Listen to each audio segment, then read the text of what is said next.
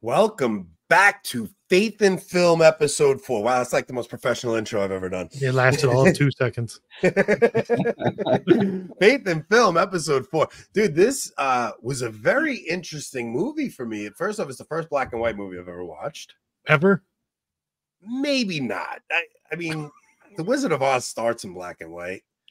Uh, I'm trying to think if there's another, but uh, Wait, you've been against black and white movies all this time without having prin- watched them? just in principle. Just You haven't even watched them? And you don't like them? That's you thought you had like all this expertise in black and white No, movies. no, and no, no, no, no, them. no. I just think You just don't like the idea of them. No, I'll be honest. It's because like even in this movie, like the oldie time acting is like it's like that oldie time act. But this movie was actually really good. I'm not watching another black and white until Rob watches The Godfather, though. That's my rule. um, yeah. So normally we'll open a show with like a, a woman crashing a car or something, but this whole episode is gonna be me mad at women. I think See, that, we we really took a lot away from it in a different way because I mean, who I see as the bad guy is the obvious bad guy. You caught a villain. I think you're right in catching that woman as a villain too. I don't mean Otto's wife, but the other woman. And I've seen this movie maybe ten times, um, uh, but you you obviously identified a villain. I didn't. Yeah, well, oh man. All right, so we'll wait until we get to that part in the movie. So initial thoughts.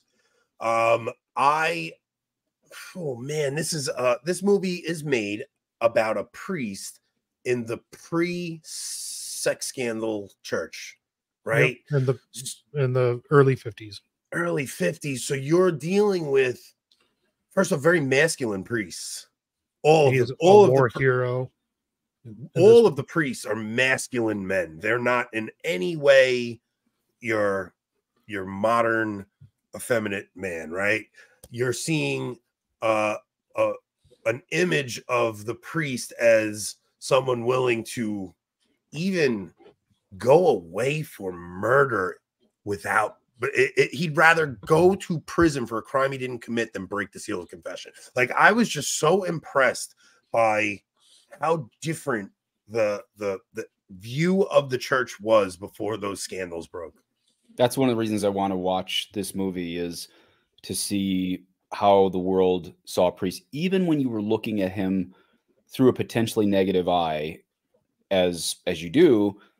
Uh, well, it's pretty early. It's pretty obvious early on he's not the murderer, but even the audience of this movie isn't sure he's not an adulterer for quite a while. Oh, right. Yeah, that's Yep. a good point. Yeah, it was it was so interesting to go through it. Um, all right, so we're going to play a few clips. So if you guys haven't seen now, Jenny, also understand that part of part of me saying I don't like black and white movies because people get It's a so bit. upset. People get so upset when you say you don't like black and white movies. I just like to I like to tease. Turns out Anthony hasn't even tried them. I think It's like- probably most most our viewers know what the movie's about, but I mean, we're we're gonna give have a spoilers. synopsis? Yeah, can I? Can one of us? Yeah, yeah. No, go ahead. Okay, so there's a uh, church in Canada, which, by the way, the church that you see is now owned and run by FSSP up there in Quebec City, Canada. Hmm. And um, so it's uh, 40s. It's just after the war, late 40s, early 50s. You have to remember, a German immigrant at this point would have been coming out of uh, obviously Germany and disliked by the rest of the world, trying to hack his way through life, eke out a living. And so the opening scene in a French part of Canada is a German immigrant goes to uh, one of the parishioners not too far from the church. And this German immigrant, not only does he work for the church, this specific parish, but so does his wife. Mhm. And uh, Otto, who uh, Rob texted me looks like Francis in Rome, he, uh, he really he really does. goes to steal from a guy named Mr. Villette Well, the theft goes wrong, bonks him over the head, kills him. But the problem is, Otto, who works for the parish, borrowed a cassock, got blood all over the cassock, returns the cassock. And as he's returning at 11 p.m. that night, his conscience tags him. He doesn't know what to do. Father Logan, who, as you mentioned, is a war hero, uh, sees him in the basement of the church. What do you need? He doesn't know what to say. He says, I need to confess. They go to the confessional. He confesses murder. And uh, later, Otto realizes he, well, his wife makes him afraid that the priest is going to break the seal of confessional. And so Otto decides to pin pin the murder on the priest. Why? Because one, he's got a cassock that's all bloody, and two, um, he's not allowed to break the seal, and three, um, he really can't even say where he is. And one of the things I'm going to point out as, as the priest on this uh, episode is one of the things that most lay people don't realize about this, and this is the most this thing um, I'm excited to share with you guys.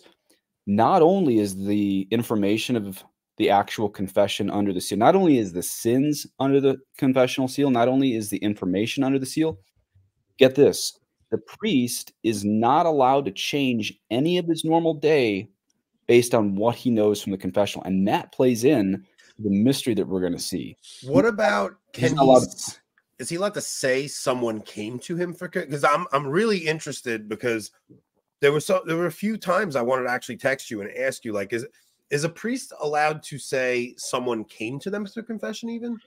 It's not a break of the seal, but it's poor form. So, like, let's say, let's say I stopped my car on a highway and there was a kid dying, and um, he went to confession to me, and I gave him absolution. And let's say there was a lot of mortal sins or something, and he died, and the mom was a really good Catholic, and she was beside herself, screaming and crying, saying, "Oh, I had been praying he'd come back to confession for years. He never went. He died. He went to hell." I couldn't say, "Oh, here's all the confessions I here's all the things I heard in confession," but on very rare situations, and I know rare is a weird word when we're talking like canon law, but it's not a break the seal to say someone came, but it's poor form unless you really need to. So the reason I'm giving you this example, the highway, is if like someone really thought her her son went to hell, I could say, "Lady, I heard his confession." Oh, okay. But that's like a one in 10,000 situation that you ever really should even say someone came. Um, w- you know, like if someone says, Did my husband or wife get to confession? I just quote, I know we trads don't like Jose Maria too much, but he has a great line. He says, We don't talk about confession. That's all. I don't explain anything else. We don't talk about confession. Yeah. So if, even if someone says, Did this person go?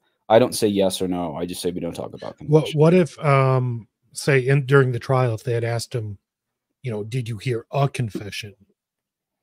Well, Could he he's, have he's- yes heard that, he's or- heard tens of thousands of confessions. That's I mean, But if like were, it, if they had asked him, did you hear a confession at eleven thirty that night or something like that?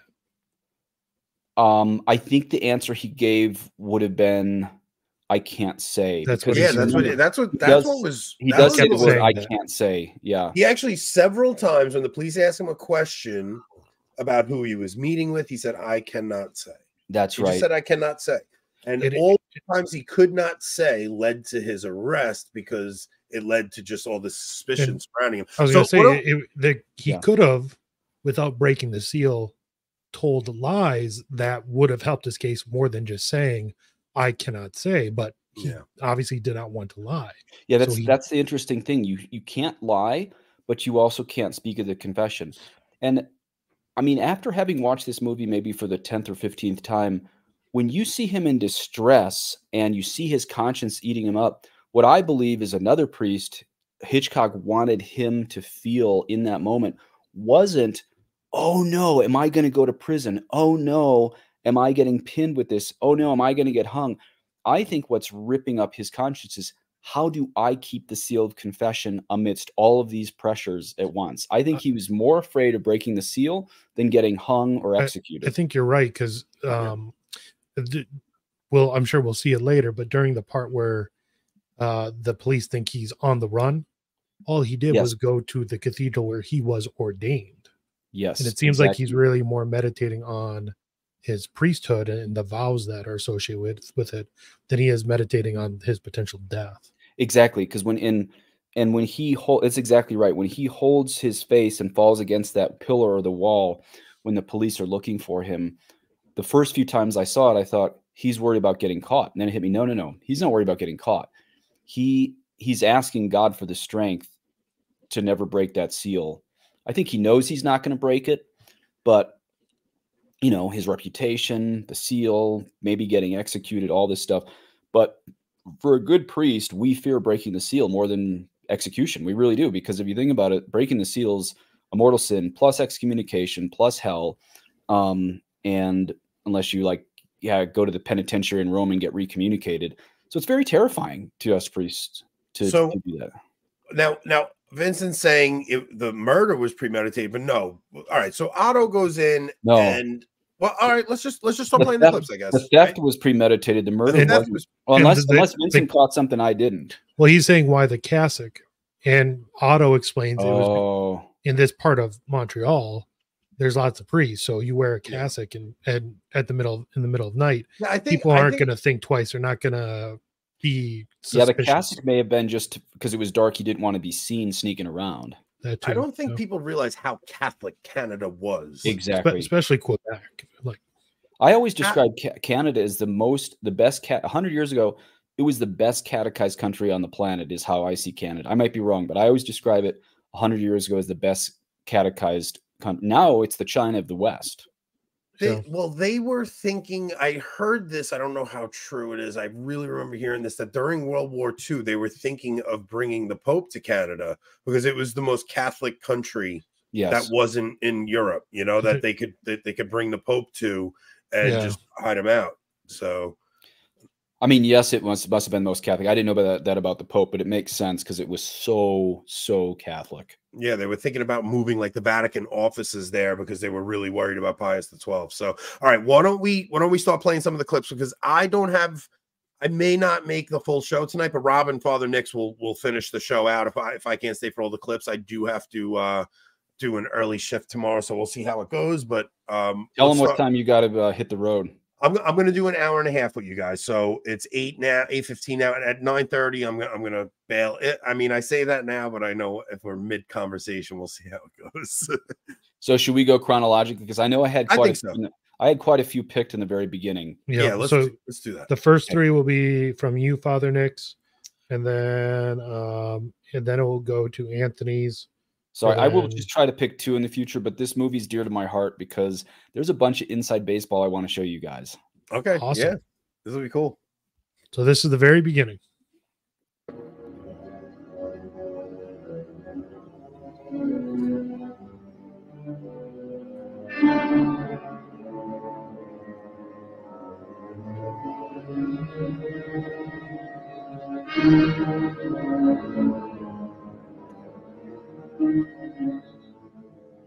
Such a Hitchcock uh, opening.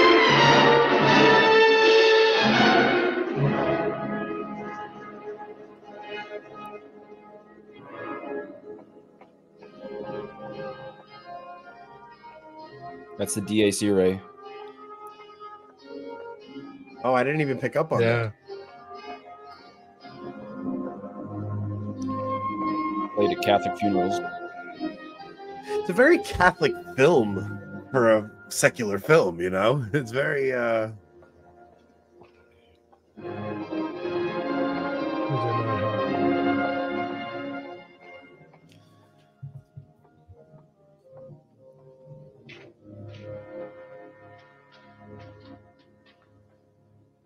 It's funny now knowing the ending.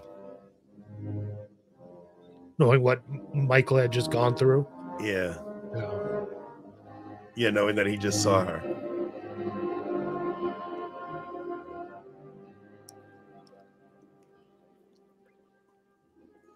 The murder was committed in a lawyer's office.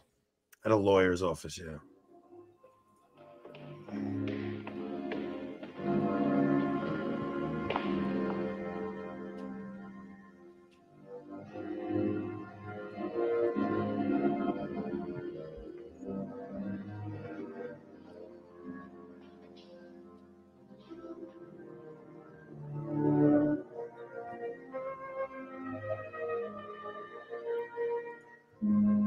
I had never seen this before. You guys, like, I was so like shocked by how much I enjoyed it. It's It's so good. probably in my top five now, honestly. Very, very interesting. Like to see, just to see Catholicism in a good light was so awesome. You know. The uh the actor playing father Logan is Montgomery Clift, and the the woman uh you'll see later, the female lead is Anne Baxter. Okay. Keller, why are you here this time of night? I. I wanted to pray. Is something wrong? I. Can I help you in any way? And that man's played by the young Jorge Bergoglio. Be of any help? I don't think he No looks one like can him. help me. I have abused your kindness. You gave my wife and me a home, a job, even friendship. I felt you would let me be a friend. Rob, pause it real So quick. wonderful a thing Yeah. for a refugee. I, I love that um people are watching the movies in order to follow along with the show. Yeah. So Mhm. like like I'm so happy even if like 20 of you are doing that like just to eh, just to sit and actually hang with a bunch of people that are watching the movies that we're suggesting and stuff they've never seen before and it's like oh man this will be an interesting one to have a conversation about. So it might be one that you've seen already it might not be even if you don't watch it you can still watch these shows but I think it's really awesome that you guys are watching the movies for the sh- upcoming show. It's it's a very cool thing. So all right, you can go back. German, a man without a home. You will hate me now. I don't hate anyone, Keller. You will. After what you have done for me. You trusted me. You saw that my wife and I were not common servants. It was you who found more present tasks for us, working here in the rectory. It was my wife, working so hard. It breaks my heart. What is the matter? I must confess to you. I must tell someone. I want to make a confession.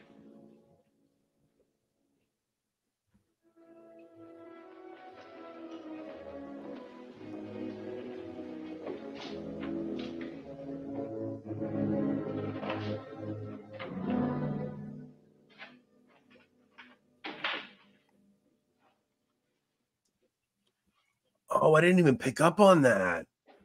I confess to Almighty God and to you, Father, that I have sinned. I'm gonna pause this here. Um, I I can't go to widescreen. it just for the format of the movie. This is the best we got. I'm sorry. It was filmed in 1953, so No, that's true. Yeah. Did you say you hadn't? I hadn't caught that either. That's a brilliant point. yeah, Just because got I want. Well, when I saw it originally, I didn't know he was just out of World War II. So now course. rewatching it, I'm catching it. Oh, of course. Yeah, I didn't- pick I didn't think I've of seen that. this movie ten times and I didn't pick up on that. That's brilliant. stayed up until one this morning watching this movie. That's awesome. Well, I like the fact people are watching before. I mean, you can definitely join us without watching it, but we have so many spoilers in it. It's a lot more fun for us if you do watch it, so we can. Yeah. But we are going to point to some things. Well, I'm learning things from the live chat I didn't catch, so I shouldn't claim we're the experts. But we'll, we'll, point, a, we'll point a few things out. yeah. So this could have been bigger, but to make the the resolution good, so it's not all grainy, Amazon made it small. So, but here we go.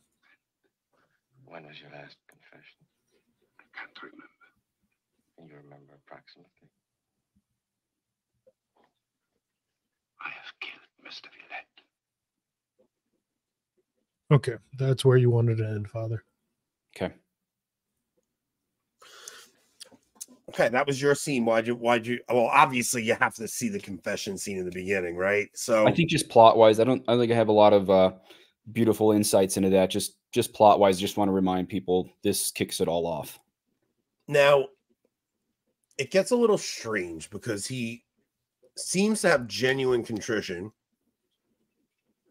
And then as soon as he leaves, that contrition seems to vanish.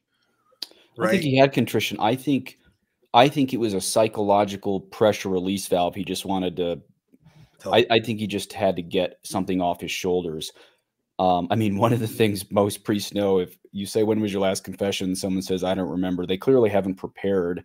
And not, not that, you know, everyone has to know exactly how many days or weeks it's been, but anytime a priest says, How long? I don't remember. Okay, you're dealing with someone who doesn't go very frequently. Yeah. You know, so he obviously didn't prepare for this confession. Hmm. Well, the, the the thing that seemed weird to me because like I, I I kept wondering why he even made the confession, right? Because he, it- but that kind of make you make a good point there that maybe he just wanted to open a release valve or something. But Yeah. then later on, he when he goes to the priest, he's like, "Haven't you ever been afraid, Father? Like I'm afraid they're going to hang me." Like I then I Mhm. kind of came around to him a little, and I was like, "All right, Yeah. maybe maybe that makes a little bit of sense." But then when he goes to framing the priest, I'm like, "This guy, like." Well, the This other guy- possibility too is he knew he was going to frame him from the start. I don't, I don't think that's probably the case, but I mean, even a bad Catholic knows a priest can't break the seal. So there's a chance he said, "I need to make a confession," knowing the priest. Maybe he didn't know he was going to frame him, but he at least knew the priest couldn't say anything. Right. Um, the the movie does show uh, Father Logan putting, putting on, on. putting on prior to confession. That shot just didn't capture it. Um, does uh in confession do you at least have to like estimate it? Estimate's fine. Yeah, Okay. yeah. Okay, Okay. next scene. So here's the next scene. This is at breakfast the next morning with the the two other priests that are at this parish. Boris. Father, would you pass me the butter, please? So I thought it that's was wife. Mrs. Keller, would you ask your husband to look at my front tire? It's flat. and he did tell her uh He So told yeah, her. that, after yeah, the that's confession. and she's the one who believed Father Logan would break the seal. And um, Otto says that he robbed the lawyer for money because he was ashamed that his wife had to work so hard. Um, but I think we Yeah, see this- at the end of the movie that that might not have been really the truth due to what. yeah, I mean, for for him, yeah, there's a the, Otto's a very he's a, a very unsympathetic character. You really like uh, he says things that he clearly doesn't mean. I don't know if that's Mhm. bad acting. I don't know if that's uh I don't know. He's a very unsympathetic character. not bad acting on the actor's part, but on the his the characters. Right. Yeah, yeah, yeah. yeah. So uh, it's like I I don't know. I don't I don't know. I, I can't tell if he's a sociopath and he's getting a rise out of this stuff. You know, it's it's a kind of a strange thing. But he puts his wife in this awkward situation by telling her, and now his wife has to sit back and watch the the events that transpire. Now, sh- so I'm I'm seeing her remain silent through a lot of things. Now she's I wonder um it, it, for for a wife to submit to her husband does that require her to be silent in a situation like this? No, no, because obedience can never trump our call to avoid sin, okay. And that that's the same thing that we we have in the canceled priest world. It's the same thing we have with the crisis in the Vatican. It's you know, um, the the hierarchy of obedience can never trump divine law. okay good that's good because i i did not i was not a fan of hers for for much of the movie Now, Like, uh, she in this doesn't. Uh, you know, she she's not the one that, that killed anyone. She doesn't even really lie. So, what type of sin is it that she's committing? is it Father, omission well, it is. It's Complicit. by yeah. I mean, she's complicit in. Um, I wouldn't she say she's she's not complicit in murder, but I mean, but we see later that her conscience does end up Yeah. functioning, right? yeah Mhm. Um, I Yeah. don't think I don't think Otto's a sociopath. I think he's a weak man. Okay That's just my opinion. I might be wrong, but I don't. You don't see the typical narcissistic qualities of like. Um, well, there's some of those. I think he's just. I- I more of a just saw, like, think he's a going weak, and- broken man. going and confessing to a priest and then framing that priest That's pretty evil, that you confess to that's pretty sociopathic That's right pretty bad. You're right. Yeah. maybe uh, maybe he was hiding from. uh Maybe he was a Nazi. it could be too. But Who knows? And you have to remember coming coming to the New World from Germany. Then, I mean, would have had almost nothing considering what Germany looked like right after the war. They were very poor. Yeah. I mean, so Hitchcock's framing the poverty as integral to his decisions. It doesn't give an excuse for him, but it, the poverty in the backdrop of Germany is integral to his decisions, even if they're bad Yeah. decisions. Yeah. Yeah. And Lawrence says uh you have to keep in mind uh that it's Hitchcock Hitchcock is the director and Hitchcock was a troubled man. So Okay. okay. This breakfast scene's important. My husband. But it is Wednesday. He's not here. Thank you, no. On Wednesdays, he attends to Mr. Villette's garden. Oh. Uh, then, uh, will you tell him when he comes back, please? Yes, Father. I'll tell him when he comes back. No, no, Father Benoit. You should learn how to patch a tire. One should be able to take care of one's possessions. One has a face, one would shave it. One has a. Excuse me. there's something interesting coming up because in, when I watched the movie, I thought he lied to the cops when he first got there. Oh, because Well, why he says he's there. He said he says I have an appointment. I thought he, and I- I thought he was lying too about it. No, no, here's this is the big point I want to make. Let, let it roll. All right, so let it roll. Okay, I'm glad you bring us up to that. I uh the uh the other the uh the the head pastor of this parish is very particular about Roman priests being shaved, you know, Yeah. clean shaven. It's pretty funny. Yeah.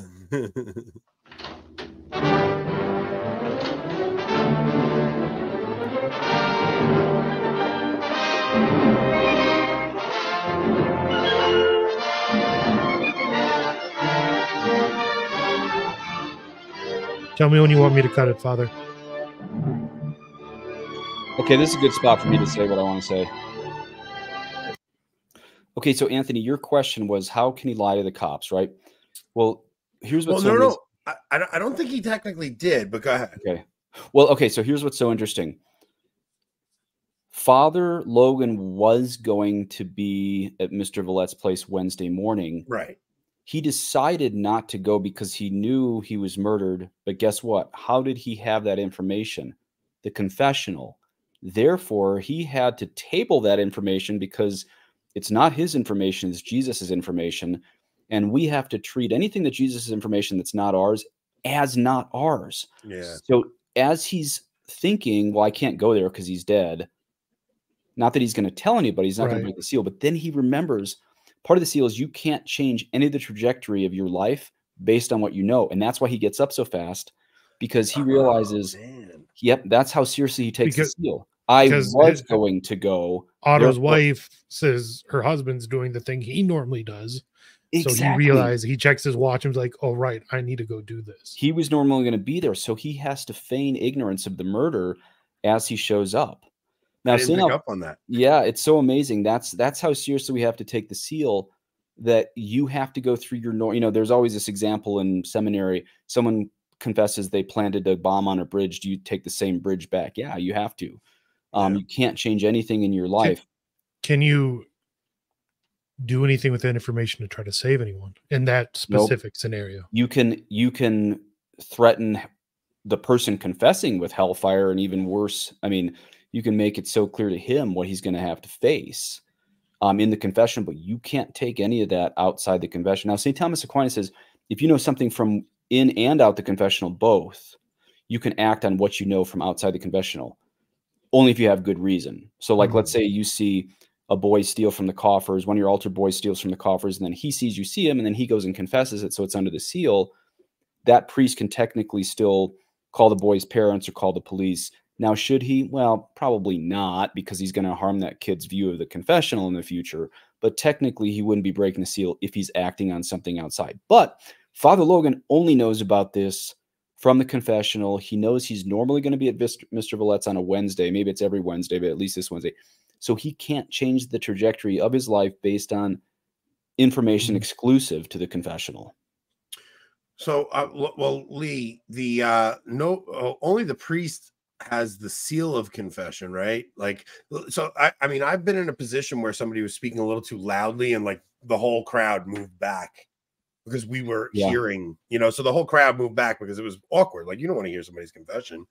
So, No, but it does. Lee has a good question. Um, all Catholics are bound to hear the all Catholics are bound to keep the seal if they hear someone else's confession. Now, I don't think there's excommunication involved, but lay people are absolutely bound. Same with a translator. Like if you if you have to have a uh, well, you really shouldn't even have a translator. But I mean, there's weird example. Like I have a deaf niece. I have a niece who's 100% deaf, and luckily she's she had four hundred thousand dollar cochlear implants when she was six months old. But there's really interesting situations for people who are deaf and other people going to confession that any translators or people who are involved are bound by the seal. Can, also, um, can someone who's deaf write a confession out? you can write it out. Yeah. Okay. In fact, we learned in seminary you can act it out. Which let's just let's just not have any Confession charades. Confession charades. Oh man, I don't even want to think how that goes. I know. Can you imagine this movie if it was? Char- oh, Anthony, really? I shouldn't have said it. I shouldn't have said it. Oh, don't worry, guys. I'll edit No. I mean, as This soon as he said, as soon as our canon lawyer said that in guys. I'm seminary, sorry. everyone just started laughing because everyone, everyone went to immediate hand gestures. Oh, you this know? is a this is a good question for you, Father. I know the answer, but I'll let you answer it. Yeah. So why can uh, why can confessions not be heard over the phone or video? yeah. You know, why during the pandemic did you know, Yeah. we still have to make an in person confession? I think a lot of people immediately go to the secrecy of the seal, but I think it's more incarnational than that. That Yes. you know, if you think of um, the Eucharist is the body, blood, soul, and divinity of Jesus, and if you think of the oil has to touch your head in extreme unction, and if you realize you can't just say the words of baptism over a baby, there has to be water splashing over the baby's head. In fact, there's even old school rules it has to be on the skin, not the hair. And so, because all the confessionals are in some, or all the sacraments are in some sense an extension of the incarnation of Jesus Christ, God become man, it has to be in person. That's why, that's why the phone. So I think the fact you can't do it on fax or phone or email or whatever, yeah, there's there's definitely the danger of a break of the seal, but the the bigger issue is it's incarnational. Hundred percent. Does that uh, apply also to sacramentals like a blessing? Uh, a bl- is a, a blessing given over, say, like like a podcast like that? Is that efficacious? It is. Uh, I asked Father Ripperger once if I can do deliverance prayer on the phone. He said, "Yeah, you just have to be careful that people don't start asking for it too much." I just said it on a podcast, so yeah, so you- everyone's gonna call you, you- up. yeah, you can. You just have to be careful of um, excessive use of it. But um, some deliverance, uh, or Fi- Father Isaac does chapter three on the phone for people frequently. Chapter three of um, Leo's exorcisms. So yeah, Yeah, it's very, Okay. very much to do with the incarnation and the priest speaking in persona Christi and having to be there in your presence as he gives you absolution, I would say. So yep, that's it. That's the answer. ah, let's go. Do we want any more of this scene, or do we want? But is that yeah? Let, let's just finish off because Yeah. this is where you know again he's realized he has to be there. Um, and and in fact, I think my very next scene. Finish this one up to however long I said, and then I do skip like four minutes, and there's another scene where the cop looks over his shoulder to see Father Logan because this is where he talks to the blonde hair woman, and this is where even the audience So- who knows he didn't murder the person, we're not sure at this point if he's an adulterer or breaker. So of this vow. this is where you wanted the scene. Oh, okay. Can you skip to the next one then? Yep. Almost the So- same scene, but four minutes up, four minutes past it. Yep. So this is still the crime investigation. Five hundred dollars. It does not look like robbery, sir. They usually take the lot. You Now, so we Otto didn't hear money back. but well, so Otto said he only needed two thousand dollars. So my thought at this point was either he there was twenty five hundred in there and he only took two thousand, or the the murder happened and he didn't take anything. I don't Yeah, know he put the money back. I took that as he put the money back. I, I don't remember. Well, no, so um, he's saying here Oh. that he stole two thousand. Oh, Well, did wow. he? Do we know he ret- did he go back to the scene? We don't know that, do we? He went there to work that day. He opened the door. He was the first one in the house. Oh, He's the one that that's a good reported the murder. Yeah, he's the one that reported the murder. So that's he- 100% what happened. He stole 2000, put 500 back, kept 1500. So he still kept the money. Wow. So he his it, like and it makes it then look like it's not a robbery. yeah, his confession was invalid first off. I mean, he you know, you, you have to make reparation for the thing you did. I can understand Well, not wanting- actually, not. I, I don't believe you actually have to make reparation for absolution. you have to you have to follow the penance that the priest gives you, and the priest told him to put the money back, right? Yeah, I don't think we can make that I mean, my understanding is we we can highly encourage that. I don't know if we can make that the actual penance. Oh, okay. Um, but I think if it is invalid, it's more due to lack of any like you don't have to have perfect contrition, but you need imperfect contrition. We don't know his heart in the whole thing, but I miss what you guys. I totally missed this about returning the money anyway. So that's really interesting. Yeah. Yeah, I did. I did not notice that. Okay. Um, work at the rectory at St. Marie's, eh? Yes. Good. Now, um, how did you find the body? On Wednesdays, I work in Mr. Villette's garden. This morning, I arrived as usual at 8.30. I came inside. You have a key. No, the door was open. That frightened me. An open door? Why should that frighten you? The door was always locked. I went in, and there he was. I could see that he was dead. I wanted to run. Run? There I was. A man without a country, alone. Now, just to kind of clarify for people, 2000 might not sound like a lot, but that's in 1953. In today's money, it's like stealing more like $25,000. Discovering a murder.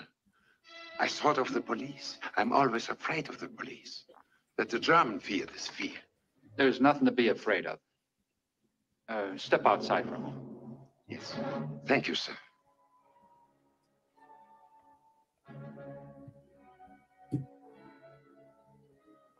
Villette's been murdered. He's dead? I can't believe it. Now stop. Free.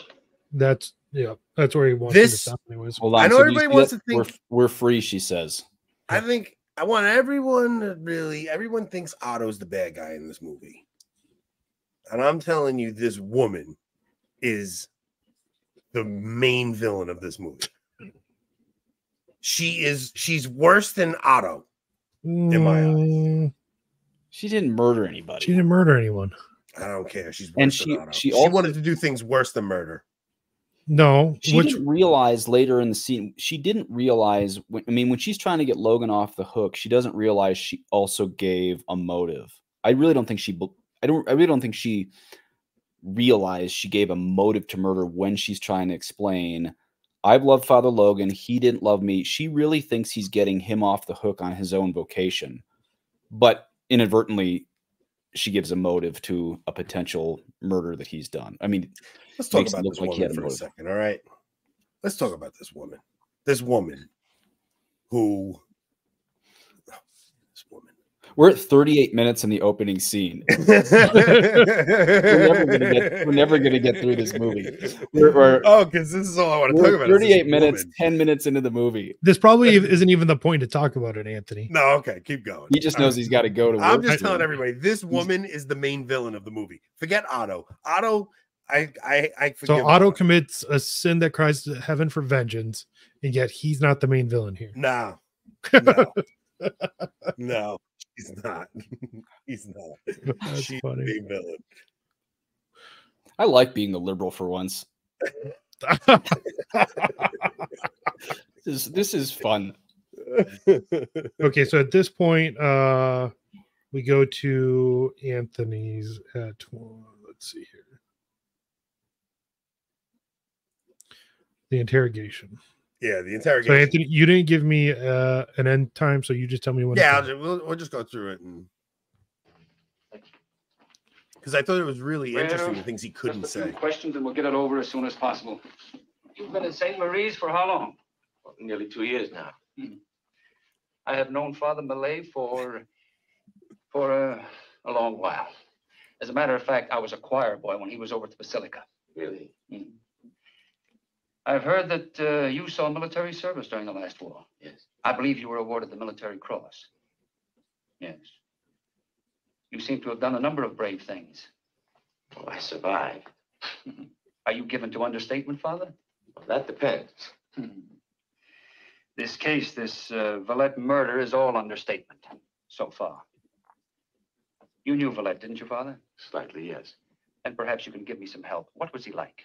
Unfortunately, I didn't know him well. Or did you know him uh, socially or in a business sort of way? In neither way, actually. Uh, I'd met him once many years ago. Cigarette? Thank you. Not, I didn't realize at the time what. Now meant, obviously. rewatching, now rewatching, you hear him like he's telling the truth about everything. He met him once many years ago that's when right. he and it wasn't him out. business or personal. He just kind of punched the guy. Met him once. many years ago. You know. Hmm. Yeah, No one foreshadowing. seems to have known this Villette. And Yet he was a lawyer. He had clients. Not one of his clients have any information to give about the man. Because he Oh, probably that you, father a were lot a client of his, as you say. You hardly knew him. But um, may I ask what you were going to see him about uh, yesterday morning? Well, that, that was a, a personal matter. Or you were acting for someone, one of your parishioners, perhaps. I can just say that my visit didn't have anything to do with Villette's death. Well, of course it didn't, Father. But you do understand, don't you, that I must consider every scrap of information. Yes. When a murder has been committed, each scrap of information is important to the police. Of course. I know sometimes it seems like uh, prying. It can be very embarrassing. Well, I'm not embarrassed, Inspector. Good. This cop reminds me of Lockton. I've been wondering about a Why? lady you met outside Villette's house. This like the way he's Quite by talking. chance, I happened to see you from inside the house. Uh, Inspector, the appointment that I had with Villette couldn't be of any importance to you. Oh, but we aren't discussing that at the moment, Father. You see, with a murder, one has to jump from one detail to another. Forgive me, perhaps I jumped too suddenly for you. Well, it seems maybe I don't follow as fast as you jump. I have a methodical mind. I do have to take things one by one. So do I. So do I. The difficulty perhaps is that, um, well, we aren't thinking from the same point of view. Could it be that, Father? It could be. I don't really know what your point of view is. Oh, well, then I put it badly. Very badly. Yeah, I, th- I Right. think we could. I, I don't remember exactly. Like I just remember him him having to keep saying, uh, like not be able to share with the cop the information. He said, "I can't say." He kept. He just kept saying, "I can't say." Do you think he was there to hear Villette's confession and that's why he can't talk? No, I think he was going there to talk. He, yeah, they had a, him and Oh, Baxter's about character the had black- an It was appointment. about the blackmail. yes, Right. He was going to go there with the woman.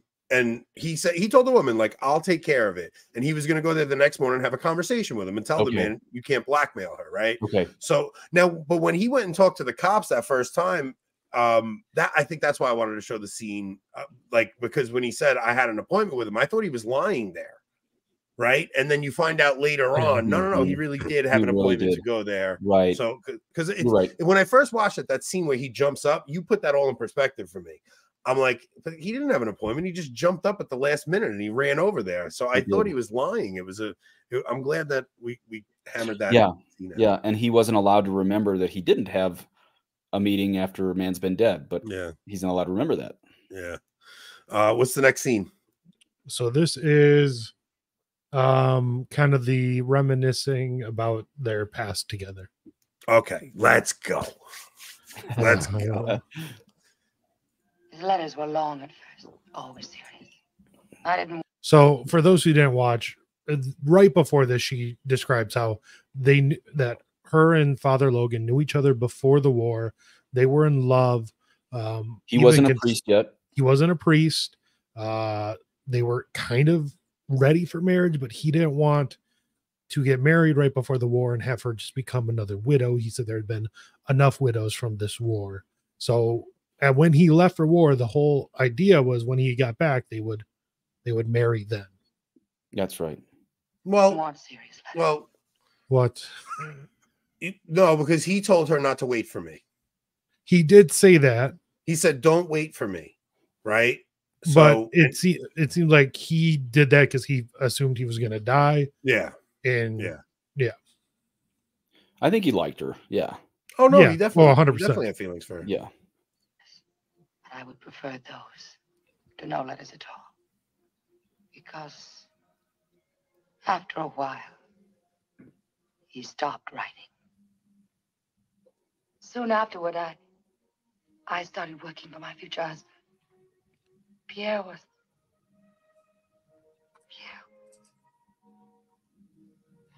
So I'm just going to go back just a second here. So a- after watching the whole thing, one thing I realized is just how virtuous her husband is. How how Oh, virtuous Pierre sure. is. Um, Oh, for sure. that he he he knew about all this, knew her feelings for Michael and for the lack of feeling kind of for himself, but still was you know wasn't willing to give up the marriage uh, at all. Madame Grandfort, perhaps if you are unable to continue, Pierre was always so brilliant. He was kind. He realized I was unhappy. And like very kind people, he, he didn't ask me why. He just tried to amuse me. We got married. I was happy. I was through with. I. I thought I was through with. You know. Well. Oh, yes, it was at my wedding. I saw Villette for the first time.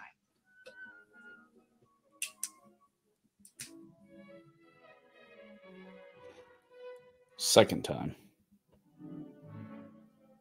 No, first time. Then the war was. Really? Yep.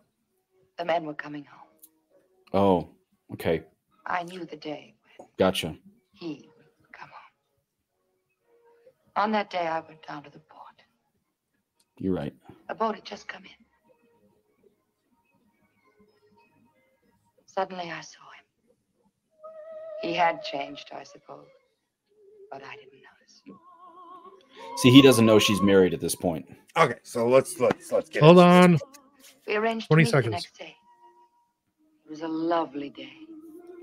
The end of summer. Michael talked and talked. He told me all the thoughts that had come to him during the war. I didn't want to hear about the war. Okay, that's where you wanted me to cut it, Father. Okay. Now, is this after the ferry scene? Go back a little bit to the ferry scene. The Let's, ferry have, let's, scene? let's hear the conversation between her and him on the ferry. Okay, yep. Hold on, I'm pulling that up right now. You mean when he leaves for the war?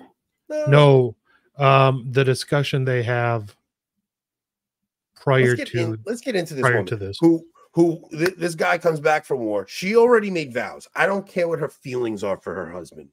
I don't care. Uh, Oh, hold on. One person does have a question. Does her um, feelings about Michael and her kind of reservations about the marriage make that an invalid marriage? No, no. If you say no, it's a very, very low bar to contract a valid marriage. Um, unless there's absolute coercion, then it's valid. Even if I mean, if you're if you get married and you're in love with somebody else, but you say the vows, as long as it's not a shotgun marriage or it's your cousin you're marrying or something like that.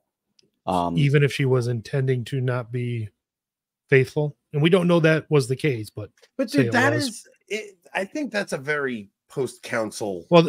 I know that's why I want Father's explanation. No, I that mean- would have never flew as a legitimate nullification at one point in 1953. Not No, I a mean, chance. e- there was a letter by Pope John Paul II who even explained unless there's a like prior to marriage understanding that you're going to either not be monogamous or have zero children. I don't mean even just like occasional use of con- contraception. If you got married with the understanding you're going to have zero children, or you got married with the understanding it's not going to be a monogamous marriage, anything short of that, John Paul II is like, stop giving out so many annulments. Wait a minute. John Paul II isn't involved in this movie. Okay. He's way after. Okay, we're talking but it- it's a- 1953. that's actually support, but that's supporting what you're saying, Anthony. Yeah. That it's it's still a valid like the Yeah. church has even in other words, if even post conciliar popes recognize the bar is so low to contract a valid marriage, so much more in 1950 was it that unless she was under absolute coercion by Mr. Grandfort, which she wasn't, Nope. it was totally a valid marriage. This is supporting your argument, Anthony. Then it was totally a valid marriage, even if she was in love with another dude. Yeah. So she's she made vows. I don't care how you look at it. She made vows, right? Mhm. Yeah, of course. She valid. goes and meets a guy from her past, doesn't tell him she's married, does not tell this man she's married, and tries to get him to commit adultery without his knowledge. Like she's committing adultery, but He's inadvertently doing that, right? So let's go back to the ferry scene now. Yep. So it's not bad enough that she tries to get him to uh she lies to him and she breaks her own wedding vows. Yeah, I was saying Rob. Someone says Rob and Anthony losing weight. Rob's Yeah. definitely looking a. skin- I said that to Rob right before we uh, went on live. I said off the air to him, he's looking real healthy. I'm down about 15 pounds since the start of Lent. Nice man. I have not been tracking, but Yeah, you look thinner for sure. well, thank you. Okay, we ready? Yep. Yeah, the ferry scene. So I want to see what she says. There.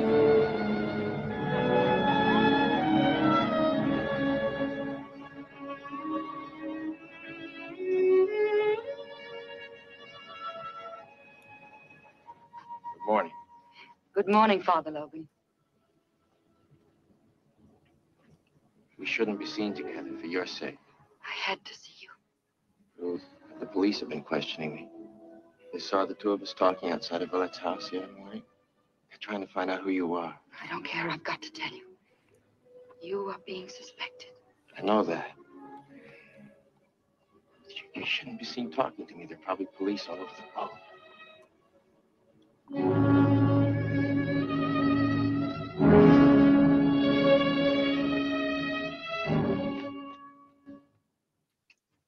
The only thing is for me to tell them you were with me that night.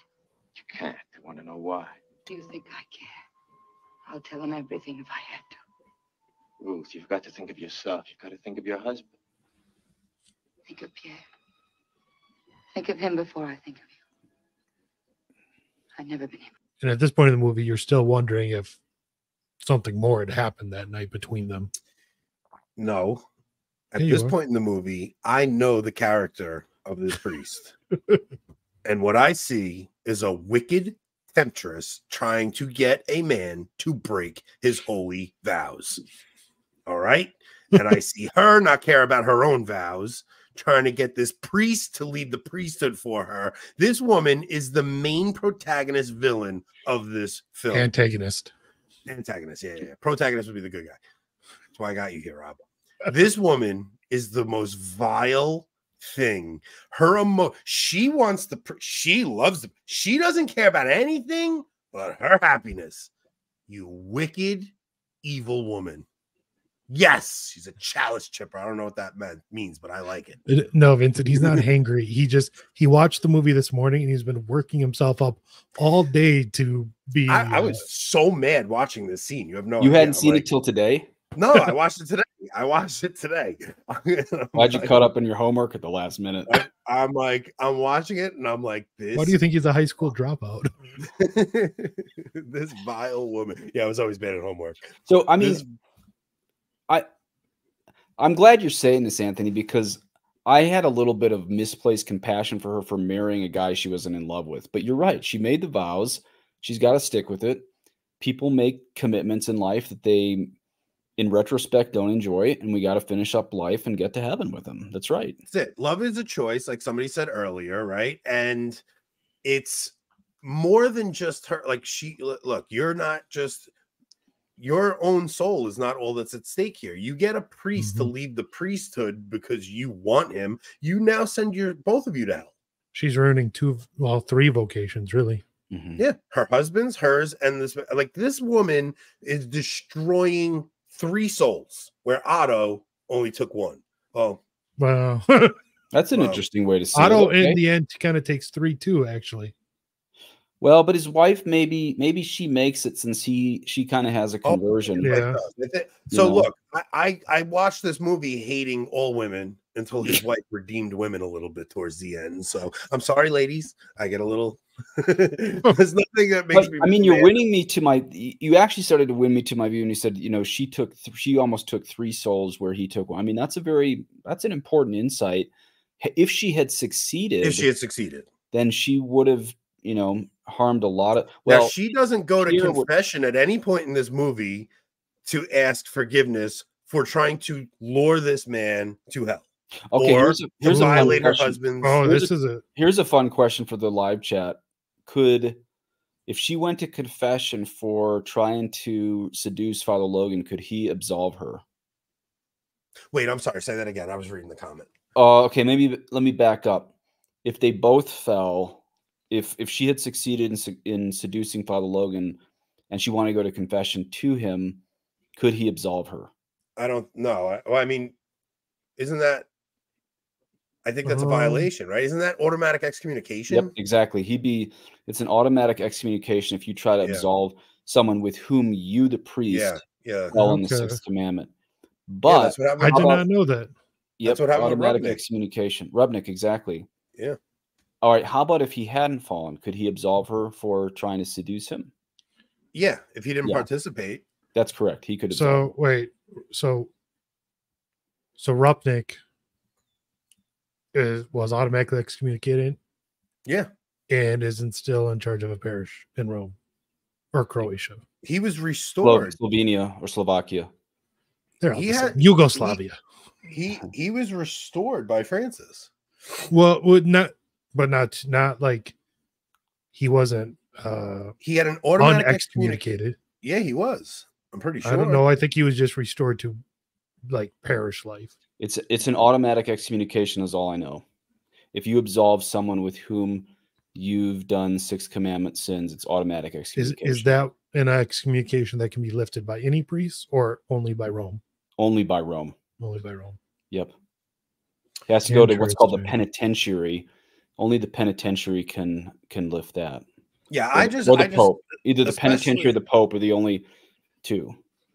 I, I just have a, a a a real issue with people violating their vows, right? I mean, I just I think that I think that we live in a time where people, especially with the rampant divorce and people making excuses for, well, I have to go be me, I have to go make myself happy. Like this is the seed planting of the of the I gotta go and make me happy. I gotta go. You go do you, girl. You go do Mhm. you. But Don't I worry mean, about your you- You think, and I don't mean this put her into state of, a state of sanctifying grace, but do you? Well, I'll just say my opinion. I think she somewhat redeemed herself in the scene when she tries to show how innocent Father Logan is. That yeah, she tried to seduce him. He said no. Here's how Father. Here's how Villette comes into this whole thing. She totally shows the um the cops that Logan is absolutely innocent of the potential, you know, act of adultery that she tried to win him into. I thought that's a pretty redeeming scene. Now, what she inadvertently does is she gives the cops accidentally a motive, for murder. Yeah. She doesn't realize Yeah, unintentionally. It's very unintentional, unintentionally. But don't you think she's somewhat? Thanks for saying that. I don't think I've ever been called base. That's a nice compliment. This is what the young people say these days. Do you think she somewhat redeems herself and at least trying to exonerate Logan? Yeah, I think I think she's trying to be honest about. I mean, she does come clean, right? She doesn't go for absolution, but she comes clean to her husband about everything. She comes Yeah. clean to everyone, and she shows the virtue of the priest, right? Yep. A- And that and that he was always a gentleman. He never, you know, the only time he slipped up was when he had no idea she was married and he kissed her. That was it. That's right. And, And once then- he found out she was married, he goes and runs off and he joins seminary. And that's what's so interesting about her exon in exonerating him of adultery. She places a motive of why Father Logan would want to go kill. Val- I mean, look now he's now he's capable. Here you have a priest capable of punching a man in the face, who A war hero who's not afraid of killing people. who's not afraid of killing people, especially who- Germans. who's Well, that- blackmailing him and a woman. I mean, you have total motive to for murder at this point. this here is uh great insight and anyone who didn't watch the movie won't realize this till the end but um before the the final couple scenes uh father logan does tell her he wants her to see reality and then she sees what he does at the end of the movie and sees the reality that he is and always will be a priest and and she is and always will be married. Yep. So I That's guess awesome. she, you know, there is a little redemption arc for this vile succubus, but well And no see- I mean, I do love the uh, ordination scene. You see the difference between old school ordination and new school ordination. That, I mean, just the richness of that ceremony. I'm so happy that Hitchcock include included an ordination scene. I want to say a old, old rite ordination, but that's all there was, obviously, in 1950.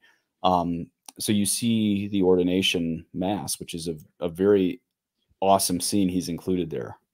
So, would father i that wanted make to me kind of right about her being the protagonist then? well, she's a Uh, complex character. That's the yeah. thing. Yeah. Well, so hmm. so if Otto and his wife get at absolution, then is it is she the only one in a state of mortal sin? Well, my hope would be she saw what a good man Logan was that she eventually she The I mean if she's, if she's capable of saying all these things to the cop in front of her husband in front of Father Logan, we have some hope she made a good confession sometime in her life after this. After Um, this movie. also, little update on Father Rupnik. Hello, National Catholic was- Register, May 2020. Rupnik is officially excommunicated, and the Jesuits say the decree was lifted later that month. And Okay. it can only be lifted by the Pope. Or someone with his delegated authority. which is yes. the penitentiary. Wow, less than one month, huh? Whereas Wild. some uh some really good priests and bishops die excommunicated, supposedly. Well, and Um, you know, they did ask a nun recently about Rupnik, and her answer was he really saw this as mystical. Um, so I mean, he was using terms. This wasn't Oh, just it's, like it's vile. Like you couldn't even Yeah. repeat some of the That's stuff right. he I mean, was doing. it right? really, it It's really was vile. grooming. that's right. And he's like I mean, spiritual he grooming. turned he turns Catholic sacraments into satan. It wasn't just It's satanic, yeah, demonic. it- it's right. It wasn't just a it wasn't just a priest fell on his off time with the with a nun. He was he brainwashed them, he groomed them, and he used the sacraments as satanic ceremonies with them. I, I'm gonna I'm gonna tell you guys why I'm Uh, like he's saying I'm tri- triggered over this mix, but I'm gonna tell you why because I take chastity so freaking seriously. Like I don't let myself look at anything. I don't. I'm walking down the streets of New York, girls are half dressed. I don't look. And I know if me, a man with a male libido, can control my lust, like this woman's got to get it, get her emotions together. You don't allow your emotion. I mean, I'm allowing my emotions to control me right now a little bit, but you know what I mean. Like this woman made like I take my vow of marriage so seriously. There is no, I would not even allow myself to have the thought in my mind that something else could happen. And I expect that of other of, of women too. I expect that of my But, but wife. here's the thing, Anthony. We men are wired visually. Women are wired emotionally. I mean, there's obviously exceptions to it. We have emotions too. Women are, are attracted to men through their eyes, but that generalization isn't totally off base. And so, I mean, this is why women more will more often confess um like mommy porn which is books because it's emotional it's not Yeah. based on the eyes you know what i mean and so um Mommy her her fall is is emotional not visual even sexual i mean she'd be I would I would argue emotional cheating. Like if if if my wife was, I mean, hypothetically, if she was having a texting emotional relationship, it would hurt me more than if it was just some physical thing that happened once and never again. Right? Like I would think the emotional uh infidelity would would rip your heart out worse. Do you, i mean do you feel any compassion for this lady though that she had to marry a guy she was never into at all that her She her, didn't have to do anything. her you're right you're right She didn't have to. i just feel a little bit sorry I feel, for I feel bad for her husband. her I sweet- feel her husband, who Yeah. Rob said this guy has real virtue because he is standing by his wife while she's cucking him basically in front of all these cops, right? Telling these More or men he, she's in love with another man. She cheated on her husband with him and didn't tell the man that she was married, that she did it with. Like, and this guy's still standing by her and and saying, he shows But almost Pierre's no kinda- animus towards Father Logan. that too. Yeah, but Pierre's kind of a wimp. He doesn't reel her in at all through the years. I mean, Yeah. she's obsessed with another man. He has no problem. with- I mean, he's kind of a wimp in that marriage. That's He's true. A cuck. For He's lack a- of a better term, I mean that's what he is. He's it- there's something about that. He should have um, said, "You're not talking to Father Logan again. You're not. You're not meeting her. You're not meeting him at the dock. You're not even going to talk about him anymore in this house." He could have said all Yeah. those things. He didn't. Now Yeah. that they had not seen each other until what the day before the murder, so it's not like it happened over years. It's like he was maybe Yeah. it happened saw over like two or three didn't- days. She saw him once and didn't see him again for five years, Yeah, and then just saw him one more time. I, I mean, yeah, all right, but And sometimes I don't think this is the case here, but sometimes women are try like sometimes seducing women don't even know they're seducing. yeah, true. Yeah. yeah, that's true. So, um, Uh, I don't know if they're talking Um, about. Um, so, um, Father, you brought up the ordination scene.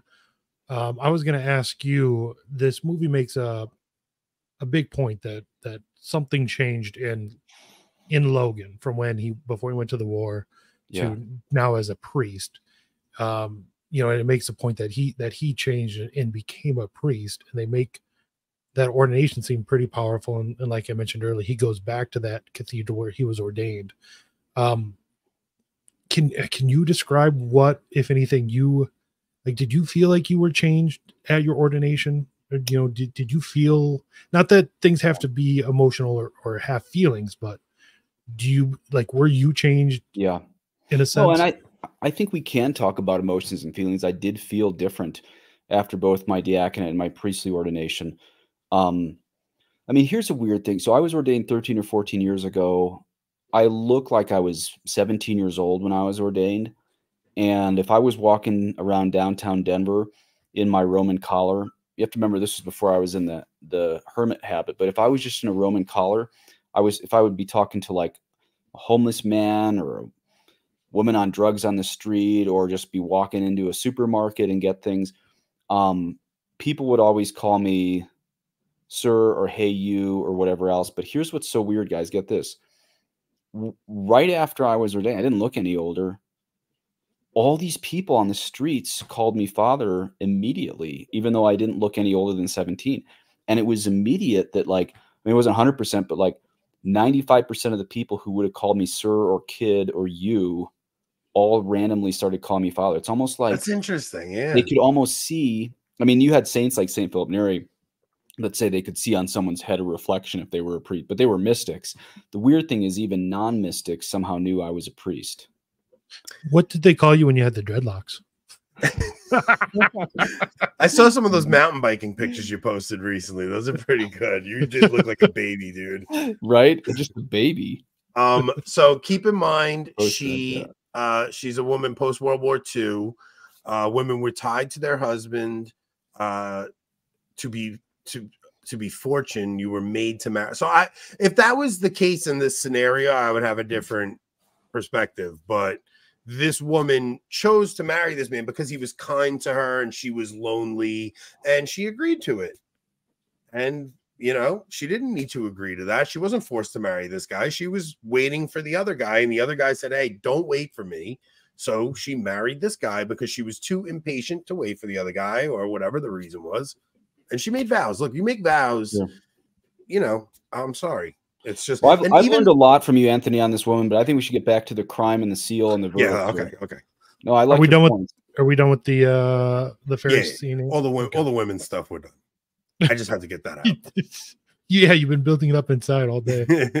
okay. So next, we're going to go to uh, their first meeting with Villette. Let me pull that up. Yeah, it's it was for me. It was more the, I, like the sacrament of marriage that I saw getting messed with, dude. I was just like, like I hate when people don't take the sacrament of marriage to the utmost seriousness and the holy orders, like to to to not take those two sacraments as our our, the reflection of the divine is what really unnerved me about it. Like, I don't know. So are we going to go to this uh, where where we see Villette everywhere I went, or are we going to look at um, where Father Logan's on the? We want we don't want to say he's on the run from the police because he never really runs. But yeah, let's go to that. Yeah, okay. Or- or Do you want to go to that, or do you want to see this gazebo scene with Villette? I where that where then she I says teach. I think we should do the gazebo gazebo scene with Villette real quick. Okay. Okay. Can we do that? Yep. Anthony and Rob. Yeah, yeah, yeah. yeah. Okay, cool. they want to. Did she? Yeah, I was just about to highlight that. Did she drive?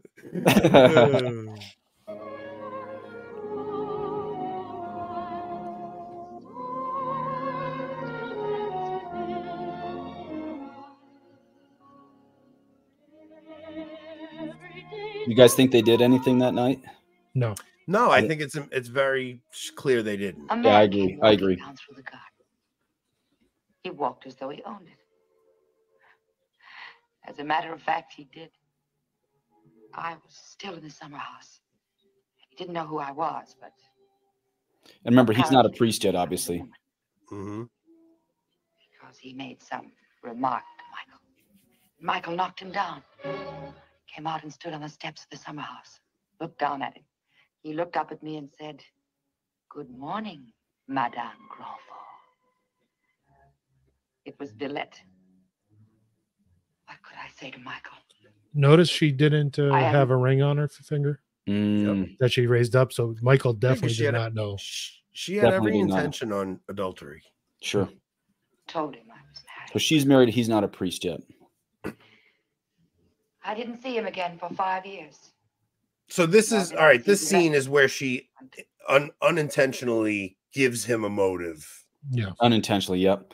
Because she's describing what happened then, how he got ordained, how she's been after him, but he never returned her quote unquote love or lust. Right. And that Villette caught them, and Villette's been blackmailing her, and Yeah. that sh- uh, that the priest said he would go there the next day and speak with him. And that gave him motive to to defend her. Like he knocked her, he knocked him out and all that stuff. Yeah. I do want to make sure we get to um what's the next scene I I I said, Rob? You Do only you remember? only gave one, dude. no, I said we should get to You said opening confession and the police interrogation. Those are the two you said. Okay, so what about the? I want to go to the trial itself, and then To the verdict? To the verdict for sure. Okay, we got it. We got it. We got a couple more before that. Okay, So we're we got a little bit more here. Till the day Michael was ordained. This is the ordination scene. Oh wow. Good thing we changed all this. Yeah, right. Oh wow,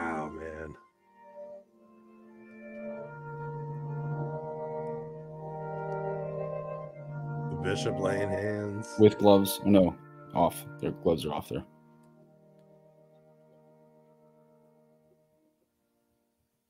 Then I began running into Villette. All the time. He appeared everywhere I went. Okay, that's where you told me to cut it. Okay. It's you made a great point, Rob. How many other people around the city had he had he been blackmailing through all this time? Well, and because they said he had clients, Mhm. but no one knew anything about him, and it it seems like he was probably blackmailing people. Yeah, this guy was shady. And you'd think they would want to tell about that after he died, but then they wouldn't want to give motive for why he'd be dead, because then it would look like they were suspects in it all if he Yeah. was blackmailing them. So I I only have uh, like another 20 minutes. I really do have to try to get some sleep. So I I would like to go to the trial. Uh and maybe maybe we do the verdict and that whole outgoing scene with the what because that's I mean, look how how long we we go and talk on this stuff. So why don't we go to the verdict? Okay. And then There's and then there's sh- one other trial scene right before that. Okay, let's So do let's that. do that first and then the verdict. Okay. Let me pull it up. And I, I gave you the one. I guess we can come back to this if we have to, but the police whistle at uh, hour one minute eight thirty, where Yep. Father Logan's leaning up against the pi- the reason. There's a reason. There's a theological reason I love that scene. I don't want to skip that. It's at one hundred five thirty nine. If we can see that. Well, yeah, let's do that. Then we just have three scenes left. That one, the other trial one, and then the verdict, Anthony. Okay. So let's try to get through Yeah, it. just move through them oh quick and I and we should be all right. 105.39.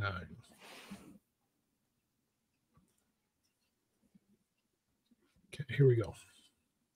This is probably my favorite scene. Since you can tell the police, yes, I'm ready.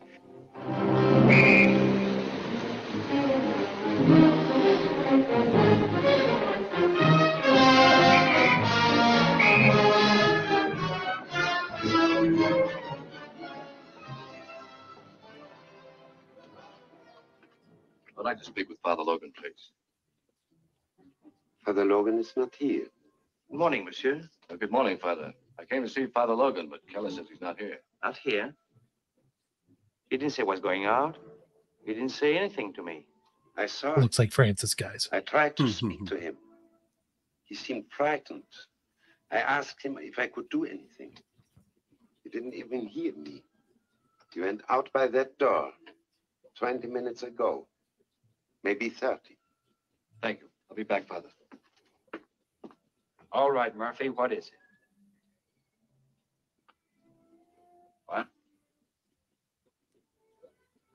Stand by outside the rectory.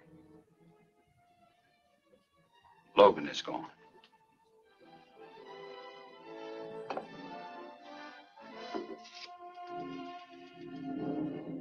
Give me the radio room. Derpy, I like that.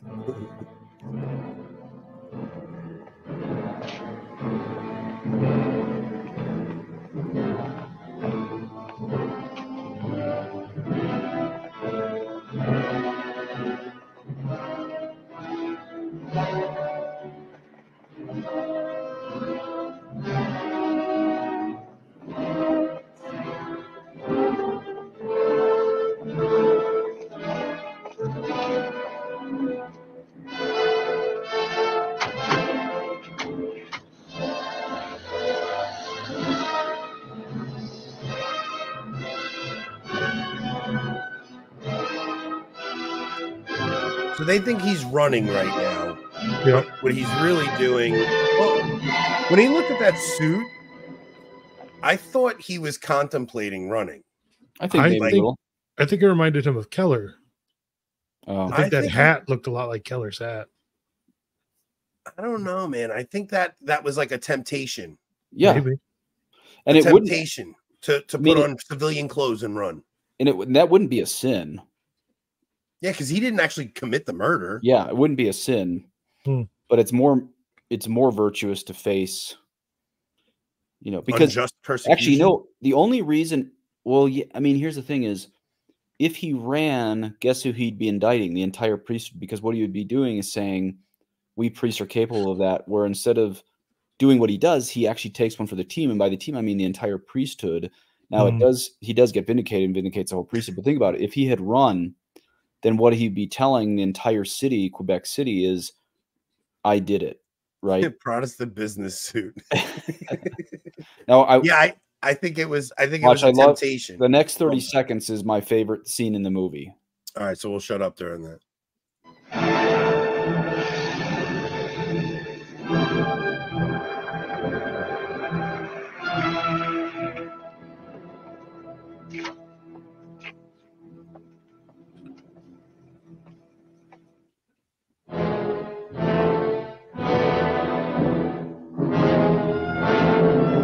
Pause that. What does this tell you? That Carry your cross. carry your cross, yeah. And what is his cross? To, I mean, To face it to face it, and and keep, keep the the seal, seal. of confession. seal, which is integral to the priesthood. So his cross is the priesthood, and and the priest is, you know, the priest is conformed to Christ at his ordination. At his, you know, we just saw the ordination scene, but the priest is also conformed to Christ through false accusations, through the sacraments, through how everyone treats him.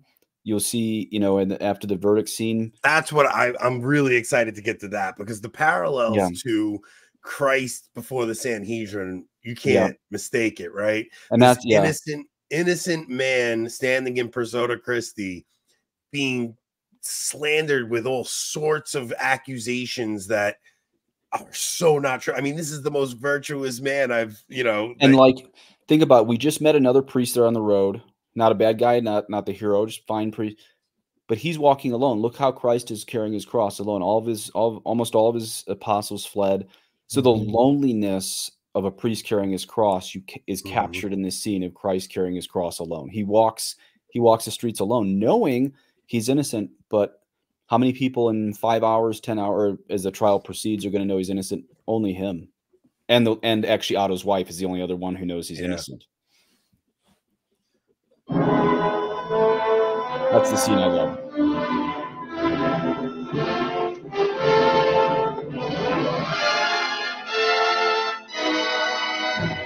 Okay, I got one more quick, one more quick thing to add here. Every priest in the city could account for where they were at 11 p.m. Why couldn't Father Logan account for where he was between 11 p.m. and midnight? Father Logan went back to the rectory and he couldn't account for it because he was with Otto. Yeah. Exactly. He wasn't allowed to say. So every that's one of the main reasons that they get hot on his trail is every priest says where they were 11 p.m. Those two girls saw someone in a cassock.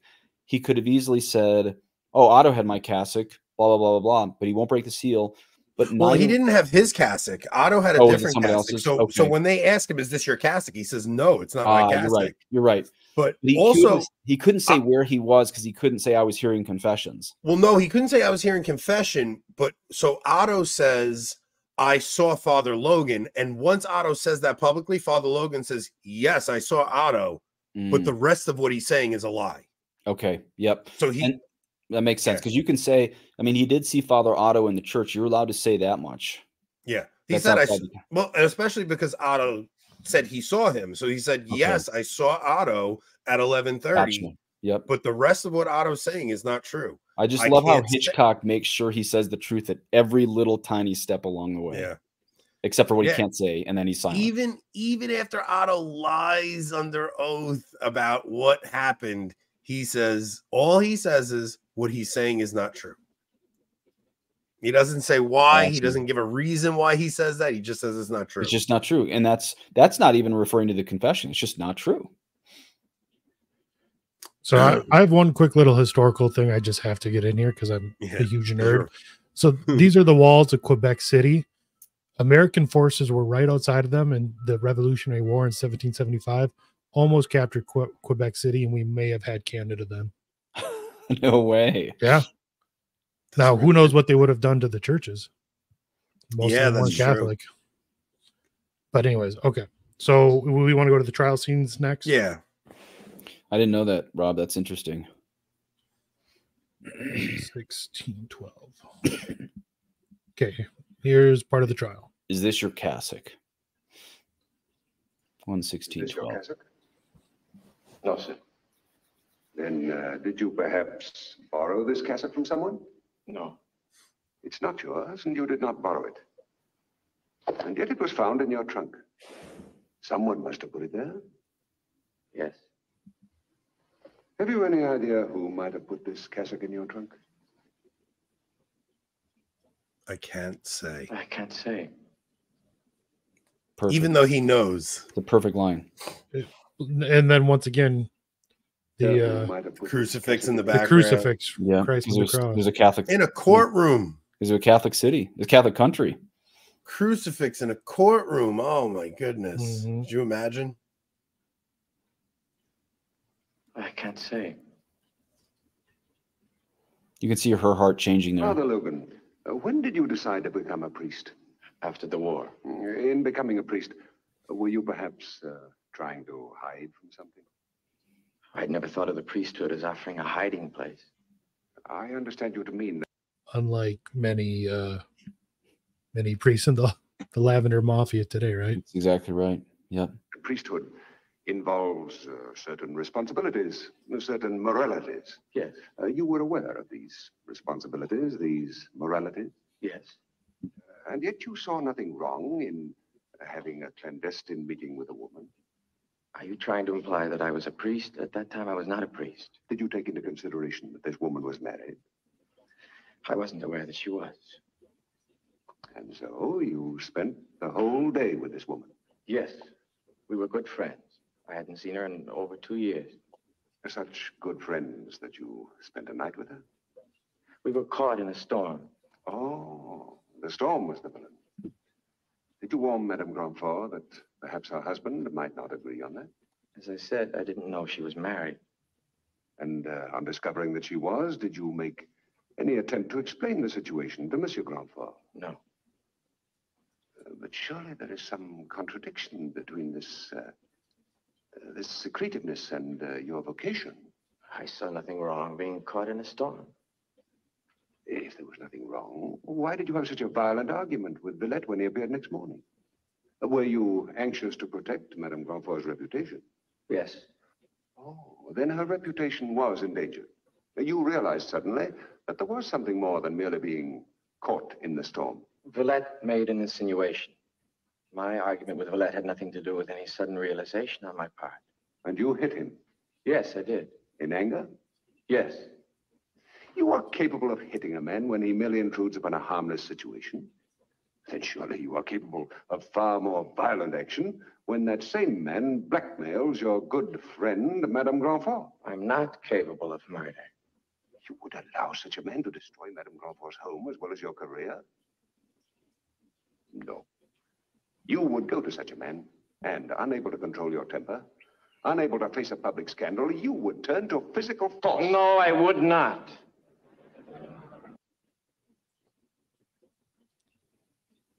There's the end of that scene. Yeah, I was hoping to get to where he um discusses um the the testimony of Villette, not Villette, uh Otto, where like he they actually question him about Otto's testimony and he and he keeps saying the well maybe that, was just that was the police last scene. I had, and uh, yeah, I mean, why don't you take why don't you take the control stick until you got to run, Anthony? Because um, I know you got to get to bed soon. So I want I want to go to the verdict and I want to sh- play that ending out because him walking out of the courtroom being accused, Yeah, even though the verdict comes in the way it does, is just it's Uh, really so let's and we'll just remind everyone the reason he was um exonerated or found not guilty wasn't because anyone thought he wasn't guilty. It was just they didn't believe there was enough enough. evidence. yeah, there wasn't enough. It was all circumstantial evidence. There wasn't any forensic evidence or anything. And the uh, judge you know. even adds basically in so many words, you got off, but I think you're guilty. yeah. Let's go, let, let, let's play the let's play the verdict and let's see Oh. how they explain all that. Guys, we got bad news. No. Ah. All right. Uh, They might bring us back on. Have we been off for a while? So No, they might let it go back up. Oh, because it was such a long clip, maybe? yeah. We should keep the that's my we've fault. been off for a minute or, or so. Ah. So what happens? Does it recommence? Let me see here. Hang on. Sometimes they let you go back on, right? That stinks, man. Your stream has been temporarily blocked because of- we detected video belonging to someone else. Oh, Um, bummer. it might come back on. Let me go see what I can find on Safari instead of uh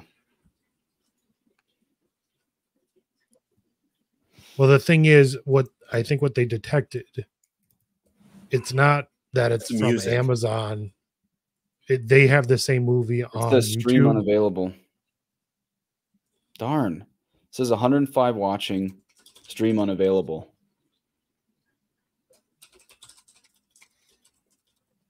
It's we're still on locals though, right? Oh, we're not on locals We can't be on locals until tomorrow. till tomorrow. Um, okay, so I, I told everyone in the chat to just hold on. Um, Okay. because YouTube is telling me in the YouTube control center, it says, okay, it's no longer being blocked. We should be back up. Okay, we're back. okay. YouTube is telling me in the YouTube. There we go. Okay. Okay, we're so we're back. Um, do we want to try it? Oh man. We want to try one last scene. How do how do we get away with the whole show and then they just It was a long one, maybe. It was a long one. It was three minutes. Okay, so let's let's go to the so verdict. I'm right before the verdict, and maybe we we stop it uh, a little bit more often. So all right, so we'll Mm. do the verdict and we'll stop it a little more often. And then Rob, you're gonna have to do the same thing you did last time at the end of this stream. You're gonna have to fight. Yeah, I know. Yeah. You're gonna have to fight. Maybe that, so. tell people to refresh their browser there too. I think Yeah, most people saying we're back. Everybody's saying we're back. Rebecca, because I couldn't. We're back. Back. Let me try this again. Still Back. say it because it it didn't have it back on mine. I would say refresh the browser. Yeah. I'm yeah, but I'm saying if you don't see us, refresh your browser. Okay, great. Still say it because it it didn't have. There you go. Okay, so we should be.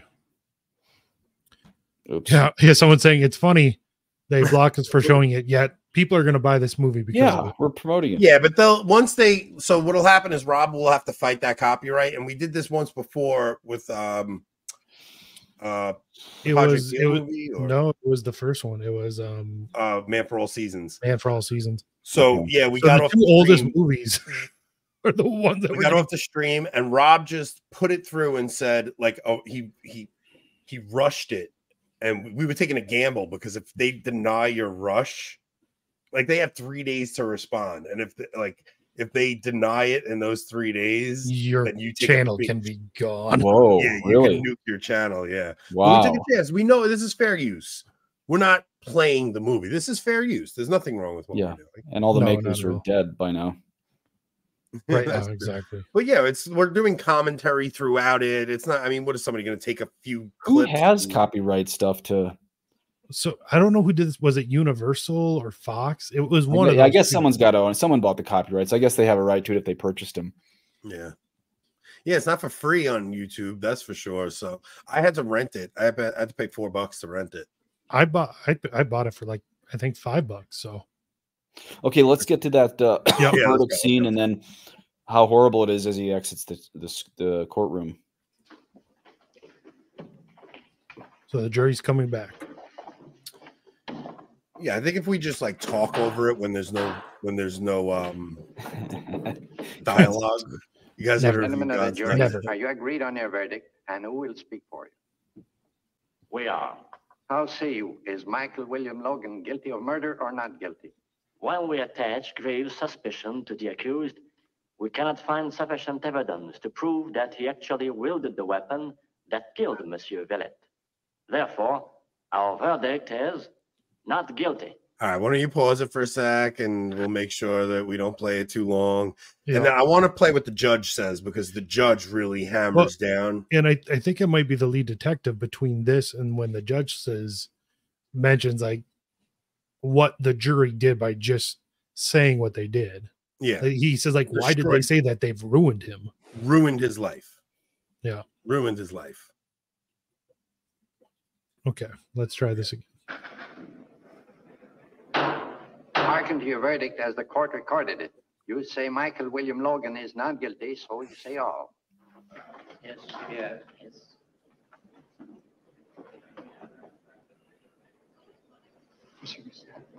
I thought they were going to come back with a guilty verdict. Me too.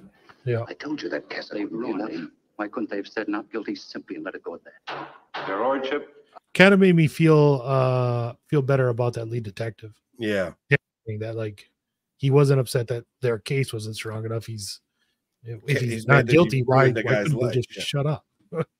Yeah. And then the judge hammers it down even worse. That's right. agreed. I move that the prisoner be released.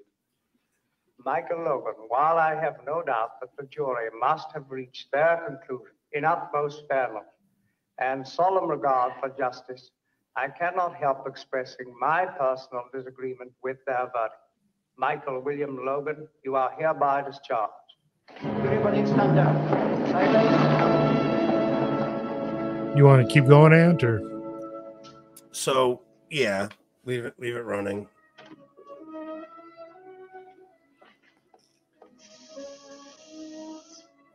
What was the hissing?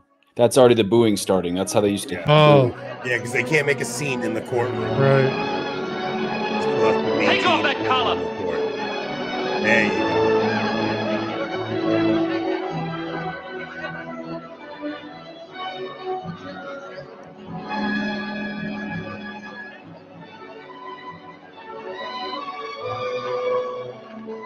Like the whole city thinks he's guilty. That's the, the ladies. Hard to blame the temptress. He's a true hunk. So apparently, according to a previous comment up here, apparently Montgomery Clift, the actor, was gay. no way. But someone, I- I, I, don't know anything about him, but someone did say that Montgomery. Oh, he seems so masculine and like like really not that. I thought maybe the the judge. This is like the I mean, OJ uh, trial, except he's actually innocent. Ah, blocked again, guys. Oh, we see, this is why we got to stop him all frequently, huh? Nah, I don't even think we can play him. It's Just blocked. Hold him. on. We gotta have to come up with a new. Let me Darn. see. Okay, it still says temporary.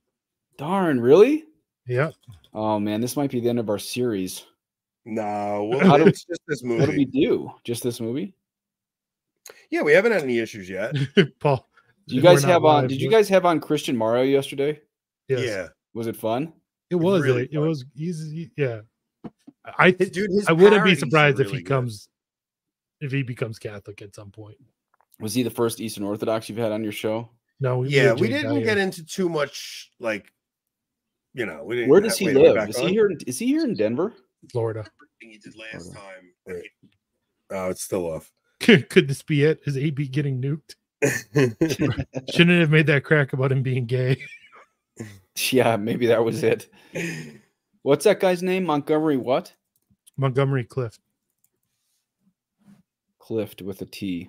YouTube doesn't want Anthony to get any sleep. Uh, um, but no, uh he he's in like the Tampa area. Okay. Hey, you know what we might be able to do, Rob? Um, play it at two times speed.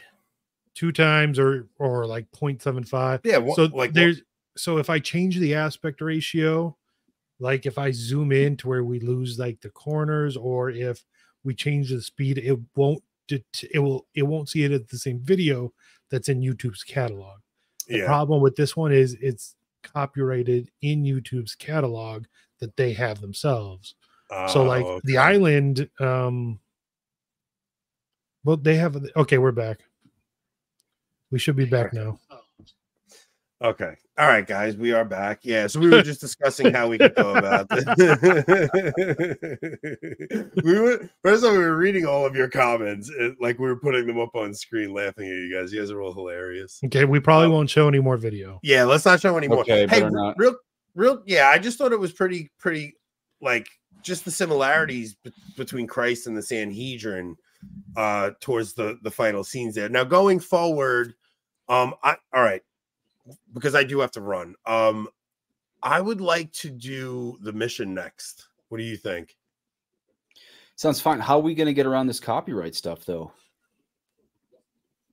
I will screen record scenes from the mission. But th- That I, mean, can do. Is that going to help, though? Not, I'd have to do a lot of editing to them, which is doable. Or the other option would be to in we could pre-record it, and then No, I like the live audience. It's so much, of so much. well, more yeah, we'd have to. We could pre-record it and premiere it and interact with the audience in the chat, but then we can't throw Mm, stuff up. It's on not the same thing. I like putting their comments up. I, I'd rather do that. We got to. I mean, but is there less chance of it getting copyright tags if we do like how I, you know, because I was able to rip certain things from YouTube, send it to you ahead of time, but I don't know why Um, that would help anything. if if I like I said, if I could zoom in on the video to where the image that we're putting up isn't the exact image YouTube Ah, has, okay. their automatic sensors won't catch it. Someone we could still live get a chat- later copy. Yeah, strike. someone in live set also mentioned either changing the speed or something like that. Yeah, yeah. It- like remember, we these, aren't, like one- these, these aren't humans 1.5. catching us; these are robots catching robots. us. Robots. That's it. Correct. Yeah. Yeah, which is why it stops when we stop playing the video. Yeah, Mm. fair use does protect us. We'll be able to fight it. We're not going to get a strike on the channel. We will be able to fight it. It's you know we're going to get a copyright stop strike the and then yeah. So yeah, that would be one option, but then we can't throw comments up on screen. Which sometimes Yeah, you don't- guys have great questions. Yeah, no, we want to Yeah, keep it no, I- live, but there's- why don't why don't we rip it ahead of why don't we rip our scenes ahead of time and then you can finagle them to get around the uh, copyright strike somehow. Look, we had one other time where they booted us, right? And it's not permanent. They they put you on a temporary block. We'll we'll, we'll figure it out. All right, I'm we'll not figure it out. ending- Let's talk off yeah. the air about it so we can get back to the movie, huh? We'll Um, figure, we'll right. figure it out. I'm gonna fly, but I would like to do the island. ne- I mean, I would like to do the mission next. That that would be good. good. Um, you guys finish out the show. Okay. I'm gonna try and ca- catch a couple of hours. Dude, this is like one of my favorite series that we do, and the pe- the fact that the people are watching the movies ahead of time. Yeah, that's to- awesome. to get- so listen, if you don't do the mission, if you guys want to pick a different movie, just let me know which one we're doing. Well, let, us do the mission. Let's have everybody watch the mission. Probably most, probably half the viewers have already seen it. Probably 90% of the viewers have seen it. But yeah, let's have everyone watch the mission before next time. And by the way, I mean, we're not saying everything in the movies that we're promoting is perfectly Catholic. You're going to see a couple of things in the mission that i- is some really crazy modernism sprinkle. I mean, it's mostly good. There's a couple crazy modernist things like when the Jesuits justify infanticide. We don't support that, obviously, and, and certainly no 18th century Jesuit would have ever, you know, justified infanticide. Um, but well, that'll be a good discussion point, right? yeah, that's That'll- good question. that- Yeah, I part just of- want people of- get we're not we're not saying everything in these movies is perfect, you know. No, part of the reason we do this is to point out some of the the silliness, right? Yeah, so it- yeah. like I kind of I kind of don't mind that that's in there because it's almost like we're warning people of okay, look, if you watch this And yeah, we don't have to in the warn right it. context. Yeah, I just want yeah, but let's do the mission. I think everyone should watch that. yeah, because Well- it's it, there is some um that would be funny. Well, what what we are going to trying. do I'm trying. is we're going to all watch um what was it um What was the movie of his you recommended, Father? Uh, like Labor soldiers. No, no, no. Uh, oh, of Mel Gibson's. yeah, I think I think if we got him, we should discuss um um the, the movie Broke- about the pacifist. I almost said Brokeback Mountain. Um no, no, no. Oh, I would've- that would've been a- the movie about the the se- uh, the Seventh Day Adventist kid. Or yeah, yeah, that's um uh Heartbreak. That's why yeah, ho- oh no, something Ridge. Um, um Uh, Hacksaw Ridge. Hacksaw, Hacksaw Ridge. Ridge. Yeah. Hacksaw Ridge. I don't know how I got Brokeback Mountain out of the Hacksaw Ridge, but So we're gonna watch that one. I've So never we're, seen Brokeback Mountain and I never will. so if Me- if funny. if Mel Please is ever watch Heaven is available, for real. God's not dead. you guys are the worst. we're we're gonna watch that one. So if Mel were to ever be available at any time, Yeah. we'll be ready to do it. That's oh, yeah, the it's one- got a that's what I'm schedule going to ask change, him we on don't to come talk. So watch, keep that in your back pocket. Watch Hacksaw Ridge. If we if he ever joined us last minute, that's what I'm asking to ask him to talk about. Broke Ridge heartbreak. That's literally what we were saying though. Like heartbreak, broke mountain. Do you know the USC? You know when that movie came out, the USCCB gave a good recommendation for it. No. Did Not it? kidding. Not kidding. Oh, I might have to dig that up. Yeah, like if you get if you get Mel Gibson, you don't talk the pension. I mean, you could mention it. No, I mean USCCB said Brokeback Mountain was a good movie. oh, of course they did. Are you kidding? Some of Peter's Pence probably helped paid for it. Yeah, exactly. Um, all right, I'm gonna try and get some sleep. You guys wrap up. All right, You we'll wrap it good. up. So Mission is the next one, but everyone watch uh uh Hacksaw Ridge to keep that in the back. Yeah, because that one might be on the fly. That might be like a Monday night. That's we my just get a phone get call. It's like he- he's available. Let's go. Yeah. So, oh yeah, we all right, just I'll- have to be Thursday night. We'll just pick it random night. Yeah. all right, Let's just say you later. move your schedule around for Mel Gibson. You don't Exactly. know Yeah. move Keith I'll take a I'm day off trying. of work. I'm trying. I'll take a day off of work. So, all right, I'll see you boys. Okay, see ya. Ciao. All right, Rob. Let's talk. Let, um, let's, see if you can figure out how to do this. Do not click end stream. Click leave stu- there. Okay. what are we gonna do without Anthony? I don't know. He's the one that always talks. Um, All right. So yeah, let's talk um, as he leaves. How similar that is to Christ. I mean, you see the fickleness of the crowd, obviously in the Gospels, and you see the fickleness of the crowd. That you know, this is clearly a culture that normally thinks priests are good, mhm. and how quickly everyone just assumes he must be guilty because of the circumstantial evidence. Even in a Catholic culture, how quickly they turn on on Father Logan. But yeah, it's like the like the crowd shouting for you know crucify him, crucify him. Yep. And so the first person to put the first person whose conscience kicks in is Otto's wife at this point. I mean, she's the only one who mm-hmm. knows. She's actually the only one since the, since in Father Logan's brain, the seal has closed this off. Otto has already made it clear he's not going to out himself since he's willing to, you know, accuse a priest of something he did. The only other person alive on the planet at this point who knows this is Otto's wife. So Hitchcock knew the only person that could speak up at this point, I shouldn't say he knew, this is written in there, would be Otto's wife. And then, but this is the madness of sin. You know, the devil always overplays his hand, and you often see this in the minds of criminals and narcissists and everybody. He pulls out his gun and shoots his own wife Yeah. um, regardless of the fact that uh, he's making himself to be capable of murder at that point. That's a good point Again. because Otto's wife wanted to crack earlier, but he stopped her. Yep. I guess I missed that. When was that? wasn't the courtroom. I I don't think it was. I don't think it was necessarily explicit. Uh, I don't know. And it, When was that, I, I don't want to go back and show it because we'll just get kicked again.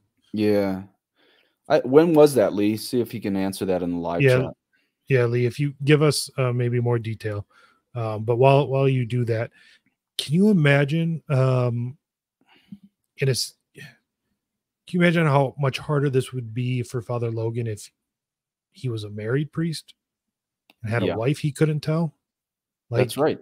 That's that's another good argument for priestly celibacy. Wait, there's just hundreds and hundreds of arguments for priestly celibacy, and here's another one. Yeah, how do you go back home and not tell your wife something like this? What's amazing is you don't really see the mind of the priest he lives with. The, the, you know, if if you look at their faces, it seems pretty clear they think he's not capable of this, but they're not sure, so they can't really say anything. But you see this relief and this belief in Father Logan in their faces once everyone realizes, ah, Mhm. he wasn't the worst of all priests. He was the best of all priests for keeping this seal. That's what's Yeah. that's the most exciting turnaround in this whole movie is who in the eyes of the whole city, including possibly the priest that he lives with, think of him as the worst priest.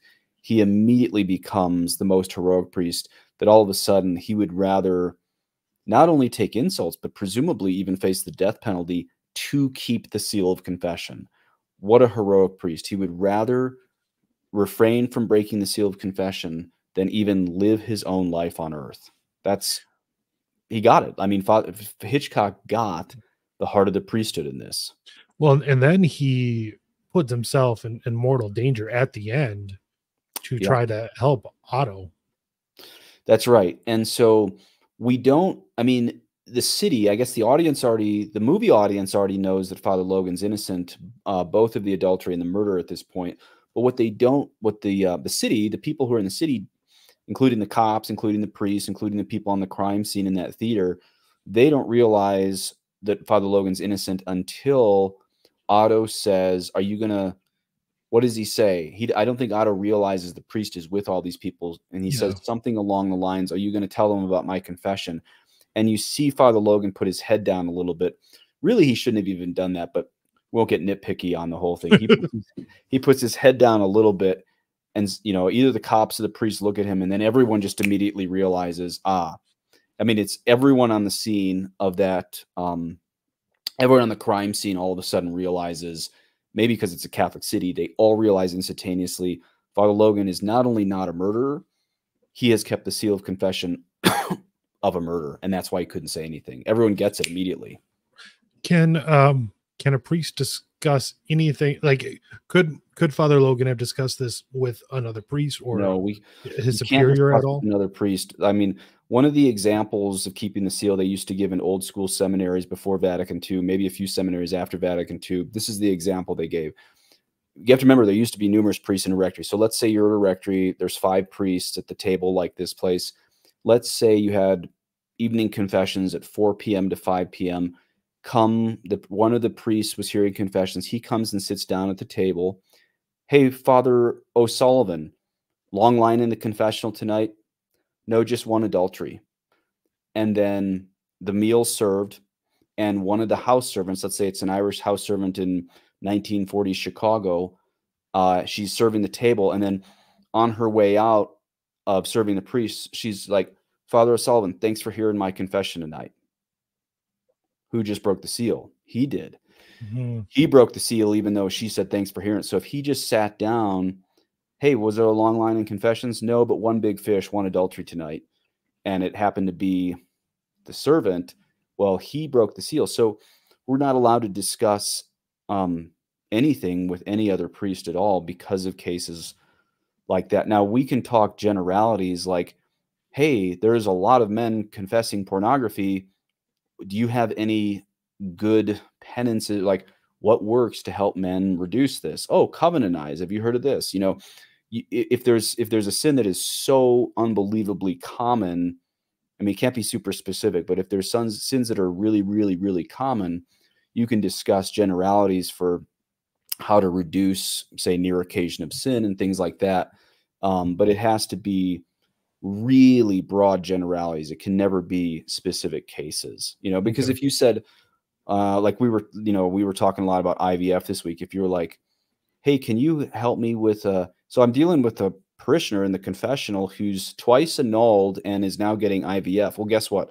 How many parishioners in the parish are twice annulled and dealing with IVF? Hmm. Like you just revealed, and I, I made that story up. I don't know anyone in that, so I don't want people to think I'm talking from the confessional either. But Right. if you said something random like that, that, or I shouldn't say random, but that specific, well, the other priest is going to know who you're talking about. Guess what? You just broke the seal, because even the new code of canon law says the seal is broken if the priest allows. Notice it doesn't say executes.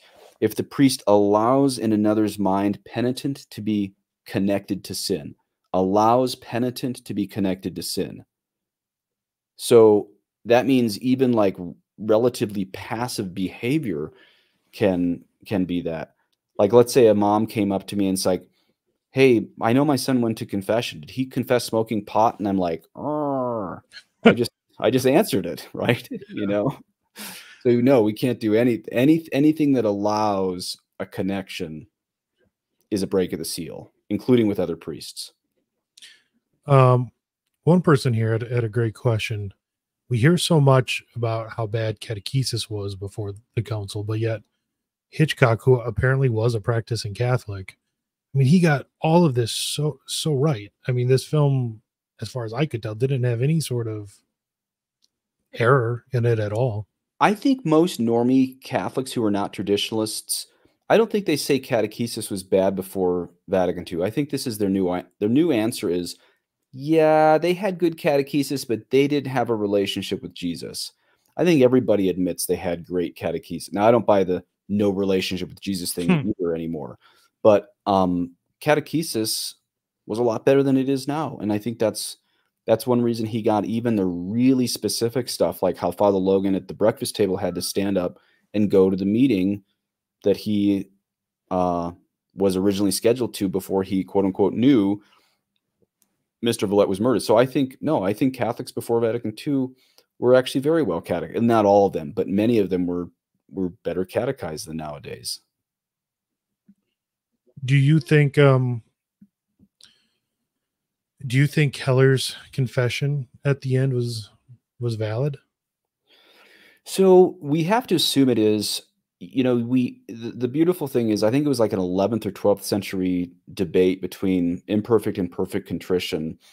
Um, God gives a lot of graces at the very end of someone's life. So even if he didn't have perfect contrition, I think we can assume he had imperfect contrition. I mean, it's sort of silly to, I guess, discuss a movie we don't, you know, Right. I mean, no nobody's heart, but but I mean, if this was real life and someone died in my arms and I gave him, you know, he was sorry and I gave him absolution, I mean, God is looking for reasons to save us, not to condemn us. He really is. And if it happens, you die in a priest's arm who gives you absolution. That's so rare that you can say somehow in divine providence that was that was made to be, you know, or at least at Mhm. least allowed to be. So I think he did. And if I remember correctly, did he I think the his priest friend gave Otto's wife absolution. I think they both died getting absolution, didn't they? He well he himself I think gave absolution to Father Logan to- did. yeah to to the wife. Who gave it I think we hear him say? Father Logan as well. Oh, both of them. Okay. Yeah. I mean, what a beautiful story of forgiving one's enemies right there that that Christ forgave their sins through him Mhm. in all of that. Um so let's go let's just we shouldn't play it, but let's re let's just see if we can recall the final scene. Um the cops have to shoot Otto. He's dying. Father Logan goes over there. Um I think he gives him absolution, is that right? Yeah. Any Yeah, thoughts on that? Um well yeah, like this whole movie really does does uh show Father Logan to be a type of Christ. I mean, like you like what you brought up earlier with with that scene with the Christ carrying his cross um while while Father Logan was was walking uh and then the the scene of of the crucifix in the courtroom and now now Father Logan giving absolution like you said to his to his very enemies it's a it's amazing what what Hitchcock did honestly now that I really think about it Yeah. I watched Count of Monte Cristo a couple weeks ago, and if you remember in the scene of the jail, it's like God will give me justice, right? And um, what's amazing about this movie, I confess, is you do see God exonerate him through the circumstances of life, um, even though he won't. Uh, Anthony has I want. I was just going to say it got really quiet here. it's been a really quiet five minutes here. Yeah. Um, is it is Anthony? Are you in bed just Probably. texting? Um, no, I think he he really is this other image of Christ, and he has just like Jesus on the cross as they're mocking him to come down. Um, thanks, Phil. That's really nice. Um, as they're mocking Christ to come down from the cross, even though Jesus is God, as a human, he trusts God to vindicate him, to exonerate him. And this is what you see is you see, Father Logan has the power to just turn everything around. He could have said at the human level on the stand, look, this clown came to me right after murdering. Here's the evidence. Here's the cassock. Here's what happened in the church. Here was his motive. He was stealing. He came to me. He's been working for us. He was poor. Like he had the power to probably turn everything around on its head on this Otto guy. And it's so brilliant that Hitchcock picked a guy who wasn't, I mean, Otto's not some smart man. He was a, you No. know, he, he- Logan could have easily smoked him in the courtroom with all the evidence. But he doesn't use his power, just as Christ on the cross doesn't use his power as God. He trusts in God to vindicate him, to exonerate him. This is why I think of the scene in Monte Cristo, God will give me justice. Um, and, and Jesus' vindication is the resurrection. And so what you see, Father Logan doesn't know when it's going to, maybe it's going to be after he dies. Yeah. Maybe it's going to be after 20 years in prison. Maybe, you know, we don't really know. But the priest, under false accusations, often has to trust entirely in God, not himself, for his vindication or exoneration. Um you you just saying that uh yes father logan like you said could have could have turned the tables on on otto and in and could have saved himself and convicted otto but that probably would have just hardened otto's heart so in, in instead he offers himself up almost as a sacrifice Yes. and in the end saves otto's soul That's right. I mean, he would have lost his own by breaking the seal. And by breaking the seal, he would have harmed many Catholics' faith in the town, not just Otto's, but certainly Otto would have been one of those. Would Otto have made that quiet confession at the end to a priest who'd broken the seal? No. Mhm. So we, I mean, I think we, I think we can assume that a couple souls got saved, namely Otto and his wife. Hopefully, uh, that gal, the Anth, uh, what's her name? The one. the the temptress the minx temptress. Hopefully, she's led to a good confession. But no, you made a great point. I mean, so many aspects of the life of Jesus is lived out in it. Forgive them, Father, for they know what know not they know not what they do. That Jesus forgiving his enemies on the cross, not just all of humanity, but specifically his enemies in a specific way. You see Father Logan have to live out a supernatural charity, not just for everybody in the town, but in a specific way for his enemies in the particular decisions he makes to not break the seal. Anthony's still chiming in. um in light of this movie what would you say to those who who are well now really seemingly like they're attacking the seal of confession especially through through um through legislation you know legislation um saying that it protects predators in the church Yeah, that's a great question. Uh, is the seal protecting uh, predators hiding within the church? I remember like five, six, seven years ago. I think it was Steve Skojec at One Peter Five, or maybe Ann Barnhardt. One of them was was talking about how some predator priests would go to other priests so as to squirrel themselves away into their secret lifestyles. I- imagine that's probably happened um, on on some occasions. I think the really, really bad priests doing stuff like that just um, they don't care about the seal of confession anyway, and most of them are you know able to um, do such masterful grooming, or they're in such major cahoots with Satan and satanic ritual abuse that they don't have to have a safety net um, within like you know using a regular priest like that. May, maybe they would do that to shut the priest up if a priest saw something um, but i think most the really intense predators using things like sra um, satanic ritual abuse that they have even caught real catholic priests doing Mhm. they're not going to be really be messing with it. Now the question of these countries that are turning against the seal of confession i think that's a pretext. I think the countries trying to attack the seal of confession are using um, priest child scandal abuse as a pretext. I don't think they really care about um, these predator cases. I think it's um, just an attack on the priesthood and one thing for even me who always delineates between like liberal priests and neoconservative non-traditional priests and traditional priests one thing i can say about most priests in that not everyone but most priests in the spectrum of those three most priests take the seal of confession actually quite seriously i mean i know liberal priests i know conservative priests who don't do the latin mass and i know latin mass priests and almost everybody in all three that's one nice thing about the priest unless we're talking about the sra priests right Right. Most priests within that bandwidth even liberals they take the seal pretty seriously. So, I mean, not to ask you for a prediction, but if legislation were to come down that really does provide legal penalties to priests who don't break the seal, you you think most will will hold true then? I really do. And and I mean most of your audience probably knows me. I don't speak well of priests very often. I don't like most priests and most priests don't like me. But even even me who doesn't have a lot to good things to say about priests will tell you mm-hmm. most priests would rather go to jail than and the reason I say I don't like most priests most priests don't like me is to so you know the backdrop against how radical it is that I'm saying that even me am admitting most priests would rather go to prison than break the seal of confession even now when in he- 2024 When he says SRA priests, it's priests who commit satanic, Satanic ritual ritual abuse. yeah yeah Anthony says you're stuck with us because you have no priest friends. Exactly. That's totally right. No, I have a Um, couple, but most of my most of my friends are lay people like you guys. that is uh, just in dealing with this movie uh father logan had i mean besides the seal of confession um which prevented him even from talking with his fellow priests but like he really had no one you know besides his fellow priests to not to confide him but to to just right. you know help him through anything. And nowadays how many parishes have three priests there? Most parishes share a priest with one or two other parishes.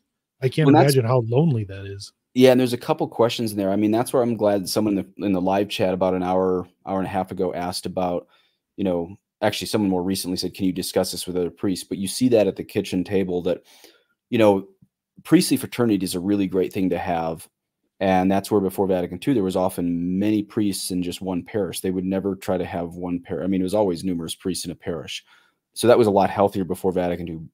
There was community, there was fraternity, there was recreation. But when it came to confession, you're on your own. That's that's one of those things where again, you can never ever ever discuss discuss a, a confession, even with a bunch of priests hanging out around having some uh, you know smokes and whiskey. You really you can never ever discuss that. So fraternity only goes so far. Confession, you're on your own, and that's where Hitchcock really picked the perfect sacrament because this is the sacrament the priest walks alone with Jesus. That's why he you see from you know the top of the uh, the church, Jesus carrying his cross, the the silhouette of Jesus carrying his cross, and then Father Logan down there. Confession is just one of those things where you're really really alone. Um, and if you get a false accusation from the confessional, you know you might be able to say that's not true, but you you can't even say um but here's what the person was really confessing i mean we are so we are really sitting ducks in fact before vatican ii not only was the seal off limits you couldn't even discuss spiritual direction now if you discuss spiritual direction you weren't excommunicated in the same way that if you you know broke the seal of confession but really the tradition of the church is we are never ever even to speak of spiritual direction with one person with another if we Hmm. do, it's really bad. You're not excommunicated. You haven't broken the seal, but it's really bad form. And so, as I always say, we never do cross. We never do cross pollination spiritual direction. That's just a very bad thing. You know, okay like I'll give you an example. If I mean, it's really better for a priest to give spiritual direction to a man. And like a lot of time, women approach us for spiritual direction. I knew a priest once, and he said, I, "I will only give spiritual direction to a woman if she brings her husband." And that wasn't hmm. just for propriety's sake. That's because he wanted the man to be leading the family spiritually. And too often, women come to priests for spiritual direction because they want to pump up their devotions or just you know talk about their lives. But it's all fine. I'm not saying that's bad. But when you say, "I'm only giving spiritual direction if you bring your husband," that brings him along to see where is he at with the faith is he the spiritual Yeah. leader of the family is he willing to you know so it's not just for propriety's sake to bring him along but in the in the case and i don't even do spiritual direction anymore but when when i had to do spiritual direction between say man and woman at different times the goal really even then should be you don't do cross pollination spiritually. You don't say well your husband said this your wife said this. Really you should listen to the person and give them advice. So the priest is truly a sacred counselor even outside the confessional. You really the priest should understand everything he has to be under lawyer client privilege um, in in almost every dealing uh, with with people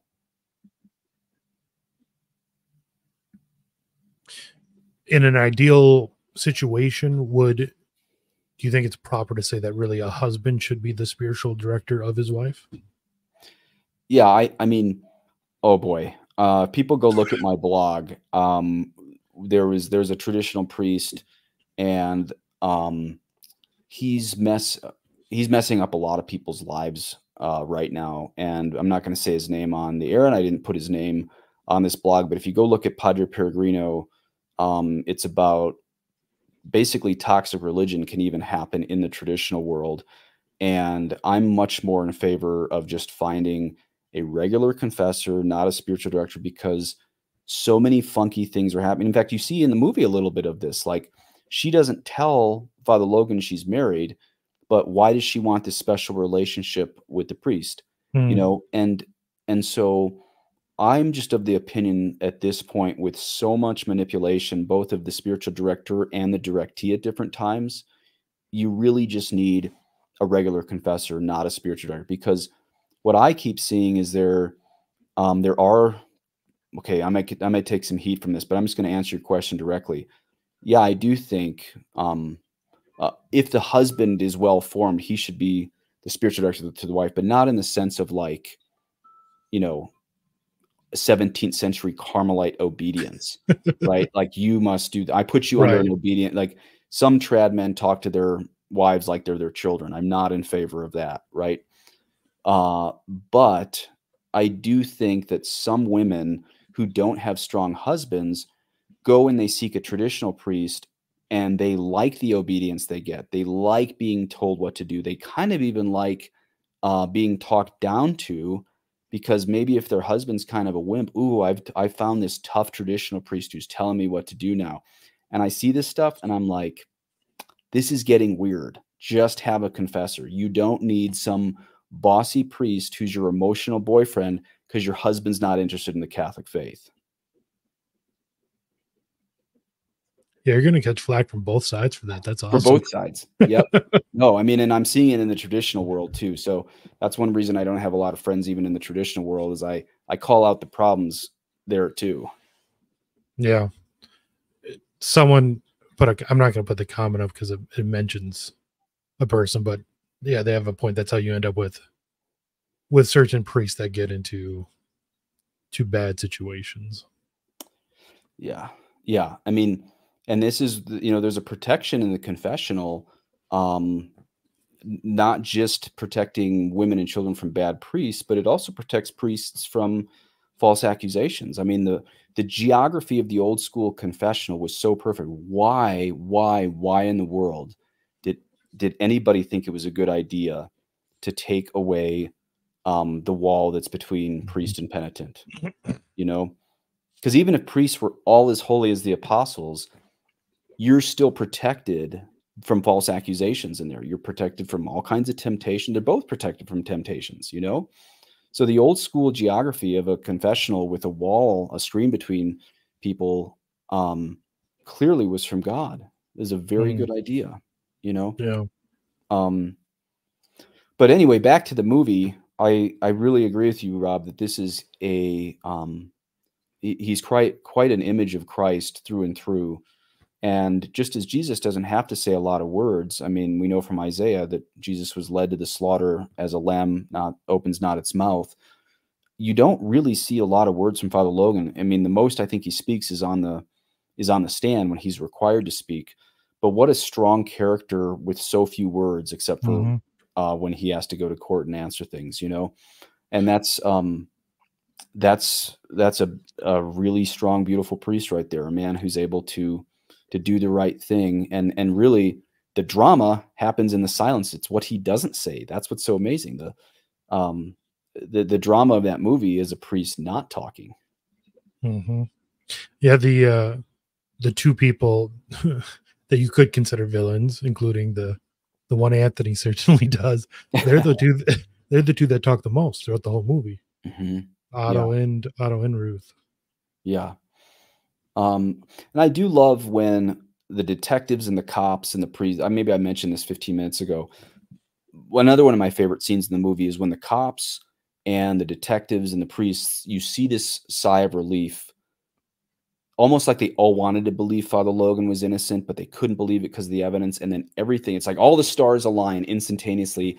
Then they understand why he didn't answer, why this happened in court, why Otto shot his wife. Like Mhm. everything immediately makes sense, not only in the audience's eyes, but even in the eyes of everyone who's on the set or acting or whatever, each character in the movie, the cops, the detectives, the other priests, the people at the hotel or the theater where the shooting takes place. They just love how everyone finally understands. I mean, and once again, it's his silence that exonerates him. It's not like he has to say, "Oh no, no, everyone, you all misunderstand me." Well, that wouldn't that maybe worked on a couple people, but just what what gets shaken out in divine providence is the greatest exoneration there. Um, and we see that in the lives of a lot of the saints. A lot of you know, there was a pregnant woman walking around Ars claiming that uh, John Vianney got her pregnant, and he decided not to answer. He just decided he was going to let the holiness of his life answer that. And it did. Eventually, no one believed her. No one could believe John Vianney of Ars would do that because of the holiness of his life. He let his holiness become his vindication. He didn't even he didn't even argue with her. Yeah, I mean, once again, another champion of of the sacrament of confession, right there. That's right. Yeah. And I do think as we see, I mean, we're going to see governments move against the seal of confession, and really, it's not it's not out of seeking justice. It's not out of seeking child predators. It's going to be simply an attack of the priesthood. And I really do think most eh, in most bishops in the nation and in the world, even in liberal places like Australia, I think m- even most bishops, again, a group I don't usually do speak very well of, I think most people are going to attempt to protect um, the seal. And, and probably this is why governments aren't going to succeed because when Catholics band together to do the right thing, as they will on the seal of confession, the governments aren't going to get anywhere. This is this really shows why we don't have anything to be afraid of as Catholics if we do the right thing as traditional Catholics have always done. And if we and if we do go to prison, great. We have we have saints like Saint John Nepomucene, who was executed by the king for not explaining the Queen's confession, thrown into a river, uh, and I think Czechoslovakia. So we have we have martyrs of the confessional. We have precedent to say this is worth dying for. Saint John Nepomucene. It, I think you bring up a good point. I think if governments really do come down hard on it, they're Mhm. I- that's got to be the biggest mistake they could make because right now with all the division in the church, Yep. something like that could really unite all the different sides. That's right. Yeah, even liberal Catholics are going to be behind that. I think we might have to tell Anthony we can't do the mission next. Because people are paying for the what movie they want Have, people are paying for Becket, and I do love Becket. You that was the one movie you were like ready to go with. I yeah, that's the I want to do that at some point during the se- series. Have you warmed up to this series? Th- this series has has become honestly my some of my favorite podcasts we've done. Not not only because I've so I'm not a big movie guy, never really have been, but these movies that we've watched, like A Man for All Seasons and now I Confess, are definitely probably two of my top five. Becket being in, the top five too, but even The Island, um, I do love Russian cinema just because of my education. But I mean that movie's right up there. Um, the Padre Pio ones, it was eh. But the movies I've loved, but just the con- the conversations we've had and some of the the subjects we've dived into because of it have been awesome. So I, I really love the series. Yeah, sorry I got cranky earlier. For people who uh, weren't looking at the text between Anthony and Rob and me, Anthony he knew he had to leave early because he got called into work. But then because I was remembering how I think in December he got sick and wanted He was us- sick. he wanted to switch the days. Uh, and I took a Unisom last night, which is really a bad idea. So I was like, uh, fine, you guys don't want to do the series. Fine, I'm out of here. and, and you guys like, no, no, no, wait, wait, wait. I mean, talk about emotional women. I act, I was like, fine, you guys don't want to do the series. I'm done. you guys talked me off the ledge. No, but really, because it was like the second one he was rescheduling or something. I was like, I thought you guys were just doing it for me. This is only four, so that's like half of them. that would be half. So I was like, I'm out of here. If you guys are doing this for me instead of your audience, I'm out of here. But no, y'all convinced me you, you like doing it. So it, and not to uh not to say anything bad about our audience but i'm not I, obviously we do it for for everyone who watches but at this point i even if we didn't do this as a podcast even if we just the three of us wanted to watch a movie and have a discussion between the Yeah. three of us that would i'd still love that well, that's why I was upset today because I I enjoy this. I I was uh that's why I thought, oh man, if this is just work for you guys and you'd rather talk your normal podcast, let's just cancel it. But I I enjoy it because I love movies. Um, there's just there's so many things you can extrapolate from a movie like this that is Catholic. There's so many things you can learn about Catholicism. Um, okay, so we can probably wrap it up. So mission is next time. The basics of the mission. Most people know this. Now, I should tell people before they watch it. Even the Wikipedia page is very clear. This isn't historical fiction. Um, I mean, it's so so loosely based on anything that happened. We can't even define it as historical fiction because it's very far from even a similar event. So you really got to see this movie as fiction, but it does capture some of the spirit of the 17th century um, South American Jesuits, this heroic missionary spirit um, to go to convert all lands. Um, Robert De Niro's penance will bring you to tears. Uh, I really, I really do love the mission, even though we should consider it fully fiction, not historical fiction. Um, you're going to see things get wonky towards the end as far as people's understanding of obedience. But again, the people in the 1980s they had writing this was post Vatican II liberal um, uh, liberation theology Jesuits on the set helping them write this. So considering that liberation theologian Jesuits helped them make this in the 1980s, it's a it's a it's a phenomenal movie despite or even because of the fact they're able to triumph over the liberation theology. A little bit of liberation theology comes in there, but for the most part, it's pretty accurate on how not the storyline, but how Jesuits in the in the 17th or 18th century would have um, had this love of the people to to convert them and bring them to Christ in South America. Then 17th century Jesuits. I mean, they're that's the Jesuit order the Protestants make all the crazy conspiracy theories about mm-hmm. because they were I mean, they were like the Pope's stormtroopers. They can, you know, they converted yeah. the New World. They almost converted Protestant Europe, bef- you know, before yeah. the the French Revolution and stuff. Like, it's an entirely different order than the Jesuits we know today. And they were also, even within the Catholic Church by the 18th century, they were seen to have too much power and intelligence. Yeah. That's why they were able to convince a pope to suppress them for I think it was 50, 60, 70 years. It, it, it's um, kind of what caused the whole Jansenist thing too. Is the that makes sense? Yeah, I mean it was it was Father Colombière who was the director for St. Margaret Mary who who was given the entire um, Sacred Heart apparition mm-hmm. to to to stave off Jansenism actually. So the Jesuits were actually central to staving off Jansenism. It's very different with the you know the Jesuits pushing for presumption now is not the same as the Jesuits then uh, pushing for the Sacred Heart devotion. These are very different things. Um, because even our Lord said to Saint Margaret Mary, um, "Behold the heart that is so loved man and is so, how did he say? I think offended by man. You know, you're not going to hear Jesuits nowadays talk about how the Sacred Heart is offended by man's sin. I mean, a few will, like Father McTeigue and some other good Jesuits. But anyway, I've rambled too long. The Mission is the next movie. It's a great movie you got to see past some of the crazy things Jesuits in the 17th century would have never said, like justifying infanticide. But those are really small little parts of the movie. All in all, great movie, great actors, tremendous scenes of penance and conversion and forgiveness and the heroic approach they had to the missions. So, um, oh, should we do? Is that? I don't want to do that in Holy Week though. Uh, oh, that because the last so last Thursday of the month is Holy Thursday. So maybe should we wait till um should we skip a month or what are we gonna do? Uh if it's either, Holy Thursday, I don't want to do it Holy Thursday that night because we're all gonna be you, at mass. Would you want to do it the Thursday before or the Thursday after, or do you want to wait until Thursday after? Let's do it Easter Thursday. Okay. Can we do that? I'm fine with that. Yeah. I wonder if Anthony's still watching us from bed. So we'll just Probably. we'll let him know. So let's let's switch it to Easter Thursday. Sounds good. We'll do that. So the so everyone, if you can, watch the mission before Easter Thursday, mm-hmm. and uh, watch uh,